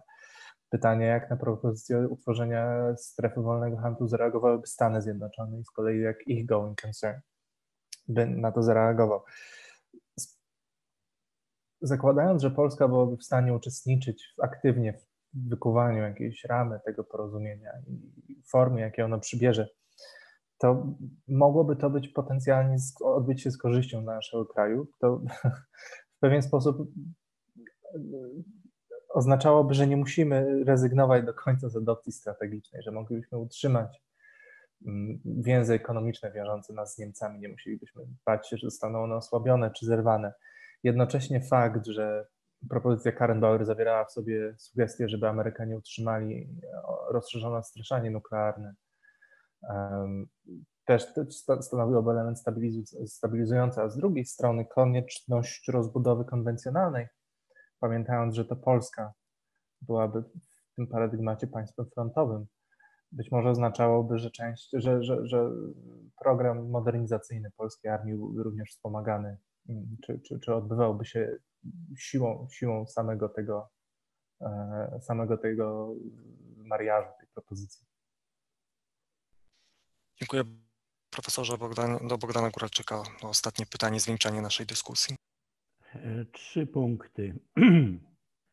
Ten duet, który się tworzy w Stanach Zjednoczonych, BB, i nie jest to Brigitte Bardot z zamierzchłych czasów, tylko Biden, Blinken, już zapowiedział, że pierwsza wizyta amerykańskiego prezydenta to będzie Paryż i Berlin. Być może jeszcze dodadzą Londyn dla przeciwwagi. E, czyli to dowodzi, że nowa administracja będzie bardzo proatlantycka, jakkolwiek to brzmi. I to jest ważne. Druga rzecz, że jeśli chcemy mówić o podmiotowości, a od tegośmy zaczęli i strategicznej samodzielności Polski, to najpierw doprowadźmy do ożywienia Trójkąta Weimarskiego, żeby być podmiotem, a nie przedmiotem, a dopiero potem gadajmy o następnych rzeczach. I trzecia rzecz, którą chciałem powiedzieć, że czy nam się to podoba, czy nie, w Polsce z reguły na nie, to w jakim kierunku pójdzie teraz Europa zależy od Niemiec. No bo to Niemcy stały się hegemonem na kontynencie europejskim, szczególnie w kontekście Brexitu. I zarówno to, jak Niemcy ułożą sobie stosunki ze Stanami Zjednoczonymi po Trumpie, bo jak one wyglądały, to widzieliśmy, nawet handshake nie było, a Trump tweetował, że nie chce widzieć obywateli amerykańskich jeżdżących Mercedesami i Audi, więc jest co porządkować i jest co sprzątać, a jeszcze bardziej, jak Niemcy ułożą sobie stosunki z Chinami, bo nie będą one takie same jak stosunki Stanów Zjednoczonych z Chinami, to pewne. E, dlaczego pewne? Ano dlatego, że sam Volkswagen sprzedaje 4,5 miliona samochodów na rynku chińskim, a połowę niemieckiego eksportu idzie do Chin. A dlaczego to dla nas ważne? Ano dlatego, że to, co my produkujemy, idzie do Niemiec, a potem jest z metką niemiecką sprzedawane. Cała młodzież chińska, na koniec nam się coś rozrywkowego należy, pije żubrówkę, tylko jest przekonana, ile z nimi musiałem wypić, żeby ich przekonać, że tam jest jednak produced in Poland na samym dole, bo jest to dystrybuowane przez producenta czy dystrybutora niemieckiego. Czyli y, i mamy badania, ja mam takie badania, że państwa Grupy Wyszehradzkiej, czyli to nie jest przypadek Polski, y, że produkują y, różne półprodukty, czy nawet części, idzie to do Niemiec, a potem jest eksportowane do Chin. Czyli tu są łańcuchy dostaw i jak to się ułoży, jest niezmiernie ważne, jaka będzie nasza przyszłość. Do czego zmierzam? Czy nam się podoba, czy nie? Trzeba patrzeć Niemcom na ręce, a równocześnie, jeśli chcemy cokolwiek zmienić, to musimy zmienić układ i skład naszego e, handlu zagranicznego, bo jeśli 30% naszego handlu trafia tylko i wyłącznie do Niemiec, no to o czym tutaj mówić? Zawsze mówię, trzymać się faktów, od tego zacząłem, od Ten Xiaopinga. Jak chcecie coś zmieniać, to szyszyciuszy, trzymać e, jedynie się faktów, bo inaczej odlecimy, wyorbitujemy i będzie się to miało nijak do rzeczywistości, a rzeczywistość jest pełna wyzwań i pełna znaków zapytania, również wobec nas, naszej dyplomacji, naszych elit politycznych, bo jak Państwo widzicie, nasze elity intelektualne starają się jak mogą i pchają do przodu. I tym optymistycznym zakończę swoją wypowiedź. Dziękuję bardzo. Właściwie ta dzisiejsza debata to było takie otwarcie naszej, e, naszej dyskusji. Ja jeszcze na chwilę oddam głos e, naszej moderatorce i będziemy już zbliżać się ku, e, ku końcowi naszej debaty. Ja tylko przypomnę, że widzimy się także jutro na kolejnej debacie, drugiej debacie podczas naszego forum geopolitycznego Afryka, neokolonizacja czy game changer nowego ładu światowego. Ja już oddaję głos moderacji, będziemy zbliżać się ku końcowi naszej debaty. Panowie, to teraz taki moment na freestyle z Panu strony, czyli na krótkie podsumowanie e, tego, o czym rozmawialiśmy przez ostatnich e, dwie godziny. E, weszliśmy od samodzielności strategicznej naszego kraju, więc o dwa zdania podsumowania każdego z Panów poproszę.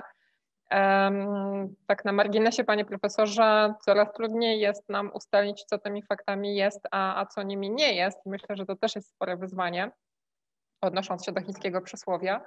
E, I drugie pytanie e, do panów, już kończące. Powiedzieliśmy bardzo dużo o tym, co elity, co decydenci, co my jako państwo możemy zrobić, żeby tę samodzielność strategiczną wzmacniać, rozbudowywać, w ogóle zdać sobie sprawę, że, że jest ona konieczna i potrzebna. A co my jako, no my, jako obywatele możemy na tej niebie zrobić i czy cokolwiek i jaka byłaby rada dla nas, po to, żeby ten ten motyw sprawczości, o którym mówił tutaj wcześniej pan Albert Świeciński, jednak też szedł od dołu, a nie tylko od góry. To zapraszam e, panie doktorze, doktor Leszek Sokulski. To tak gwoli podsumowania, myślę, że to, co możemy zrobić jako obywatele, y, możemy zacząć od tego, od czego myśmy rozpoczęli y, dzisiejszą Halo? dyskusję, a mianowicie, tak, czy jestem słyszalny? Y, dobrze. Je, moglibyśmy zacząć, a właściwie powinniśmy zacząć od tego, co, co stało się prologiem do naszej dzisiejszej debaty, czyli od kultury strategicznej. Tutaj każdy tak naprawdę obywatel jest w stanie nad tym pracować. Jeżeli dzisiaj przyjmiemy, że przestrzeń informacyjna jest równie ważna, a w niektórych y, aspektach nawet ważniejsza niż przestrzeń fizyczno-geograficzna, a każdy człowiek potencjalnie przynajmniej każdy człowiek e, mający smartfon z dostępem do e, internetu, czy po prostu komputer z dostępem do internetu jest potencjalnym żołnierzem przysłowiowej wojny informacyjnej, no to widzimy, że dzisiaj tak naprawdę pojedynczy obywatel czy obywatele są w stanie oddolnie, będąc na tym rynku czy na tym placu, używając tego porównania na, na Jala Fergusona, oddziaływać na tę wieżę, na ten ratusz. I uważam, że tutaj rzeczywiście kształćcie się, kształćcie się i jeszcze raz się kształćcie. To po, to po pierwsze. Po drugie, kwestia gospodarki. Zgadzam się z panem profesorem Bogdanem Góralczykiem, że kwestia dywersyfikacji polskiego handlu zagranicznego. To, że Niemcy są zarówno na, na, na pierwszym miejscu, jeśli chodzi o import i o eksport, w, w, w obrocie handlowym Polski, to jest jakby kwestia znana. Pytanie, w jaki sposób możemy zmienić dzisiaj łańcuchy dostaw. To, że mamy dzisiaj do czynienia z takim trendem, który jest wynikiem oczywiście pandemii COVID-19, jak nearshoring czy reshoring, no, powinien dać do myślenia. Dzisiaj rzeczywiście powinniśmy skłaniać się jako państwo do tego, tej formuły, czyli nie do offshoringu, nie do offshorowania chociażby przemysłu, ale do powrotu, jeśli nie do reshoringu, to do nearshoringu. E, kwestia tranzytowości położenia Polski, czyli doktryna wakaryzmu, wykorzystywania położenia Polski jako stworzenia geoekonomicznego, e, abyśmy nie tworzyli jakichś fantasmagorycznych e, iluzji mocarstwa nad Wisłą, nie wiem, marszu na Moskwę i tak dalej, i tak dalej, bo różne można tutaj ciekawe teorie oryginalne znaleźć, ale skoncentrowali się na tym, co jest realne, czyli na tym, abyśmy się bogacili, Interesy, interesy, jeszcze raz interesy, następnie zero y, wrogów wśród sąsiadów i gospodarka po pierwsze. Dziękuję bardzo. Dziękuję profesorze. Pan profesor Bogdan Góralczyk.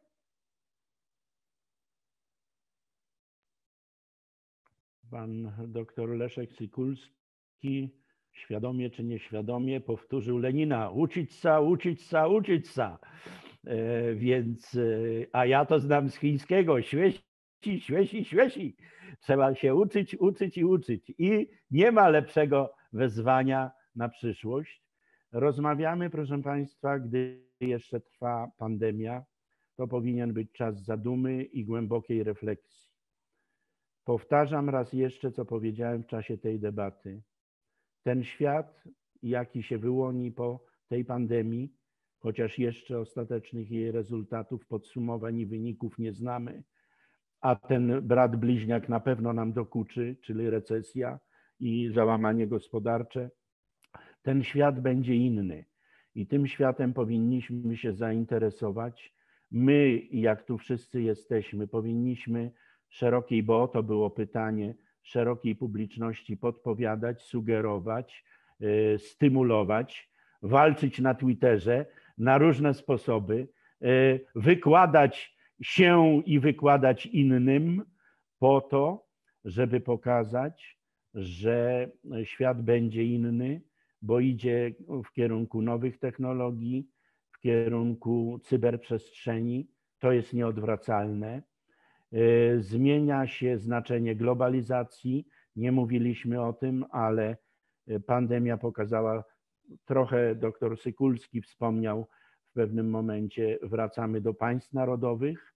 E, to wyraźnie widać, czyli zaczynamy nawet mówić o deglobalizacji.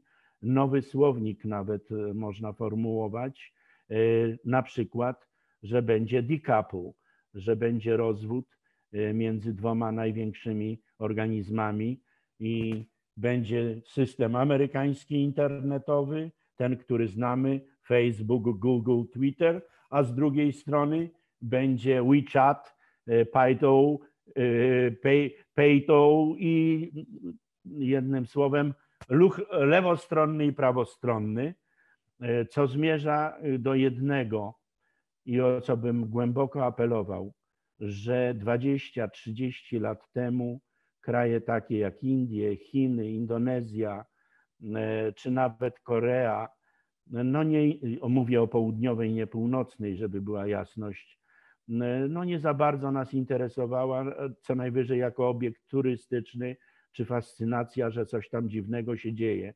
Tymczasem Przełom 2008, powtórzony przełomem 2020, gdzie doszło do power shift, przesunięcia się ośrodka siły z Atlantyku na Pacyfik, gruntownie zmienia nasze samopoczucie, nasze położenie i trzeba zainteresować się i wiedzieć więcej.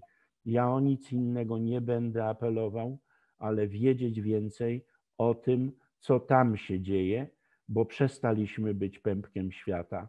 O tej przyszłości nawet Bruksela nie decyduje, czy Londyn. Coraz bardziej trzeba zwracać uwagę, co mówi Moskwa, co mówi New Delhi, co mówi Pekin przede wszystkim. I to jest lekcja, którą trzeba przerobić, mimo że będzie to trudne. I to jest ostatnia moja uwaga, bo weszliśmy, niektórzy to nazywają w nową zimną wojnę, czyli aksjologiczną, ideologiczną, gdzie Amerykanie nie popuszczą i będą wymuszali na swoich sojusznikach podległość sobie, posłuszność, a równocześnie e, to, co pani moderator zwraca uwagę, i tam, gdzie jest wojna ideologiczna, tam same fake news i same e, rzeczy, e, którymi trudno uwierzyć, bo można wszystko wrzucić, na przykład, że ten regionalne rozwinięte partnerstwo w regionie Azji Pacyfiku jest wydmuszką, no i Polacy to kupią przecież masowo, e, szczególnie, że idzie gdzieś z centralnego think tanku. E, więc e, żebyśmy się trzymali realiów, bo w takim zakręcie historycznym, jakim jest, jesteśmy, to najlepsza jakby antidotum na dobre samopoczucie i dobre wyjście z tego bardzo ciężkiego, również psychicznie i psychologicznie przecież zakrętu. Tyle. Dziękuję. I pan Albert Świdziński. Ja prawdę mówiąc nie uważam, żebym miał, żebym mógł formułować takie szczególnie kończące rady. Jestem, nie mam doświadczenia, tak? Byłoby dość sztuczne. Wydaje mi się, że ważne jest uniknięcie rozchwiania emocjonalnego, szczególnie jako metody zarządzania sporami czy, czy, czy rozwiązywania problemów demokratycznych. To jest bardzo skuteczna strategia zarządzania grupami ludzi, ale jest jest bardzo niszcząca po pierwsze, a po drugie powoduje, że degradują się standardy pracy, relacji społecznych i to, to jest niebezpieczne również pod względem cywilizacyjnym, bardzo utrudnia funkcjonowanie. Więc to, to jeśli chodzi o odniesienie do, do poziomu takiego indywidualnego. Drugą jest przebicie się że do, do, do, świadomości powszechnej, że geopolityczna pauza zakończyła się, że był to okres, który był anomalią, a nie standardem i teraz wraca stare. E, i że w związku z tym Polska nie może dłużej abdykować od pewnej odpowiedzialności. E, to nawiązując do tematu dyskusji, żeby albo przynajmniej będzie to bardzo trudne do zrealizowania, że, że niestety e, abdykacja od odpowiedzialności za, za, za ten kraj i za jego mm, sąsiedztwo jest do pewnego stopnia sąsiedztwo jest niemożliwe. I również, że nie możemy pozwolić sobie na, co pokazuje przykład Armenii, na popełnianie błędów i na stracenie szans, tak jak to miało w przyszłości, w czasach geopolitycznej pauzy. Teraz takie błędy będą surowo karane. Dziękuję. Panowie, ja bardzo pięknie e, dziękuję za te dwie godziny, za Wasz e, czas. I już dzisiaj zapraszam Panów na przyszły rok, na trzecie forum geopolityczne, które wierzę, że się odbędzie tym razem w warunkach już stacjonarnych, że będziemy mogli się zobaczyć i ta wymiana będzie bardziej dynamiczna i, i, i ludzka po prostu. E, więc jeszcze raz e, dziękując Panom, zapraszam Państwa, którzy nas jeszcze oglądają, dotrwali do tej godziny 20.21 na jutro, na godzinę 18. Afryka, neokolonizacja czy game changer Nowego Ładu Światowego. Taki jest panel moderowany przez Radosława Pyfla. Tym bardziej zapraszam i oczywiście zapraszam na kolejne E, dni trwającego drugiego forum geopolitycznego w Łodzi. Dziękuję, do zobaczenia. Dziękujemy. Dziękujemy. Dziękujemy. Dziękujemy, dobranoc.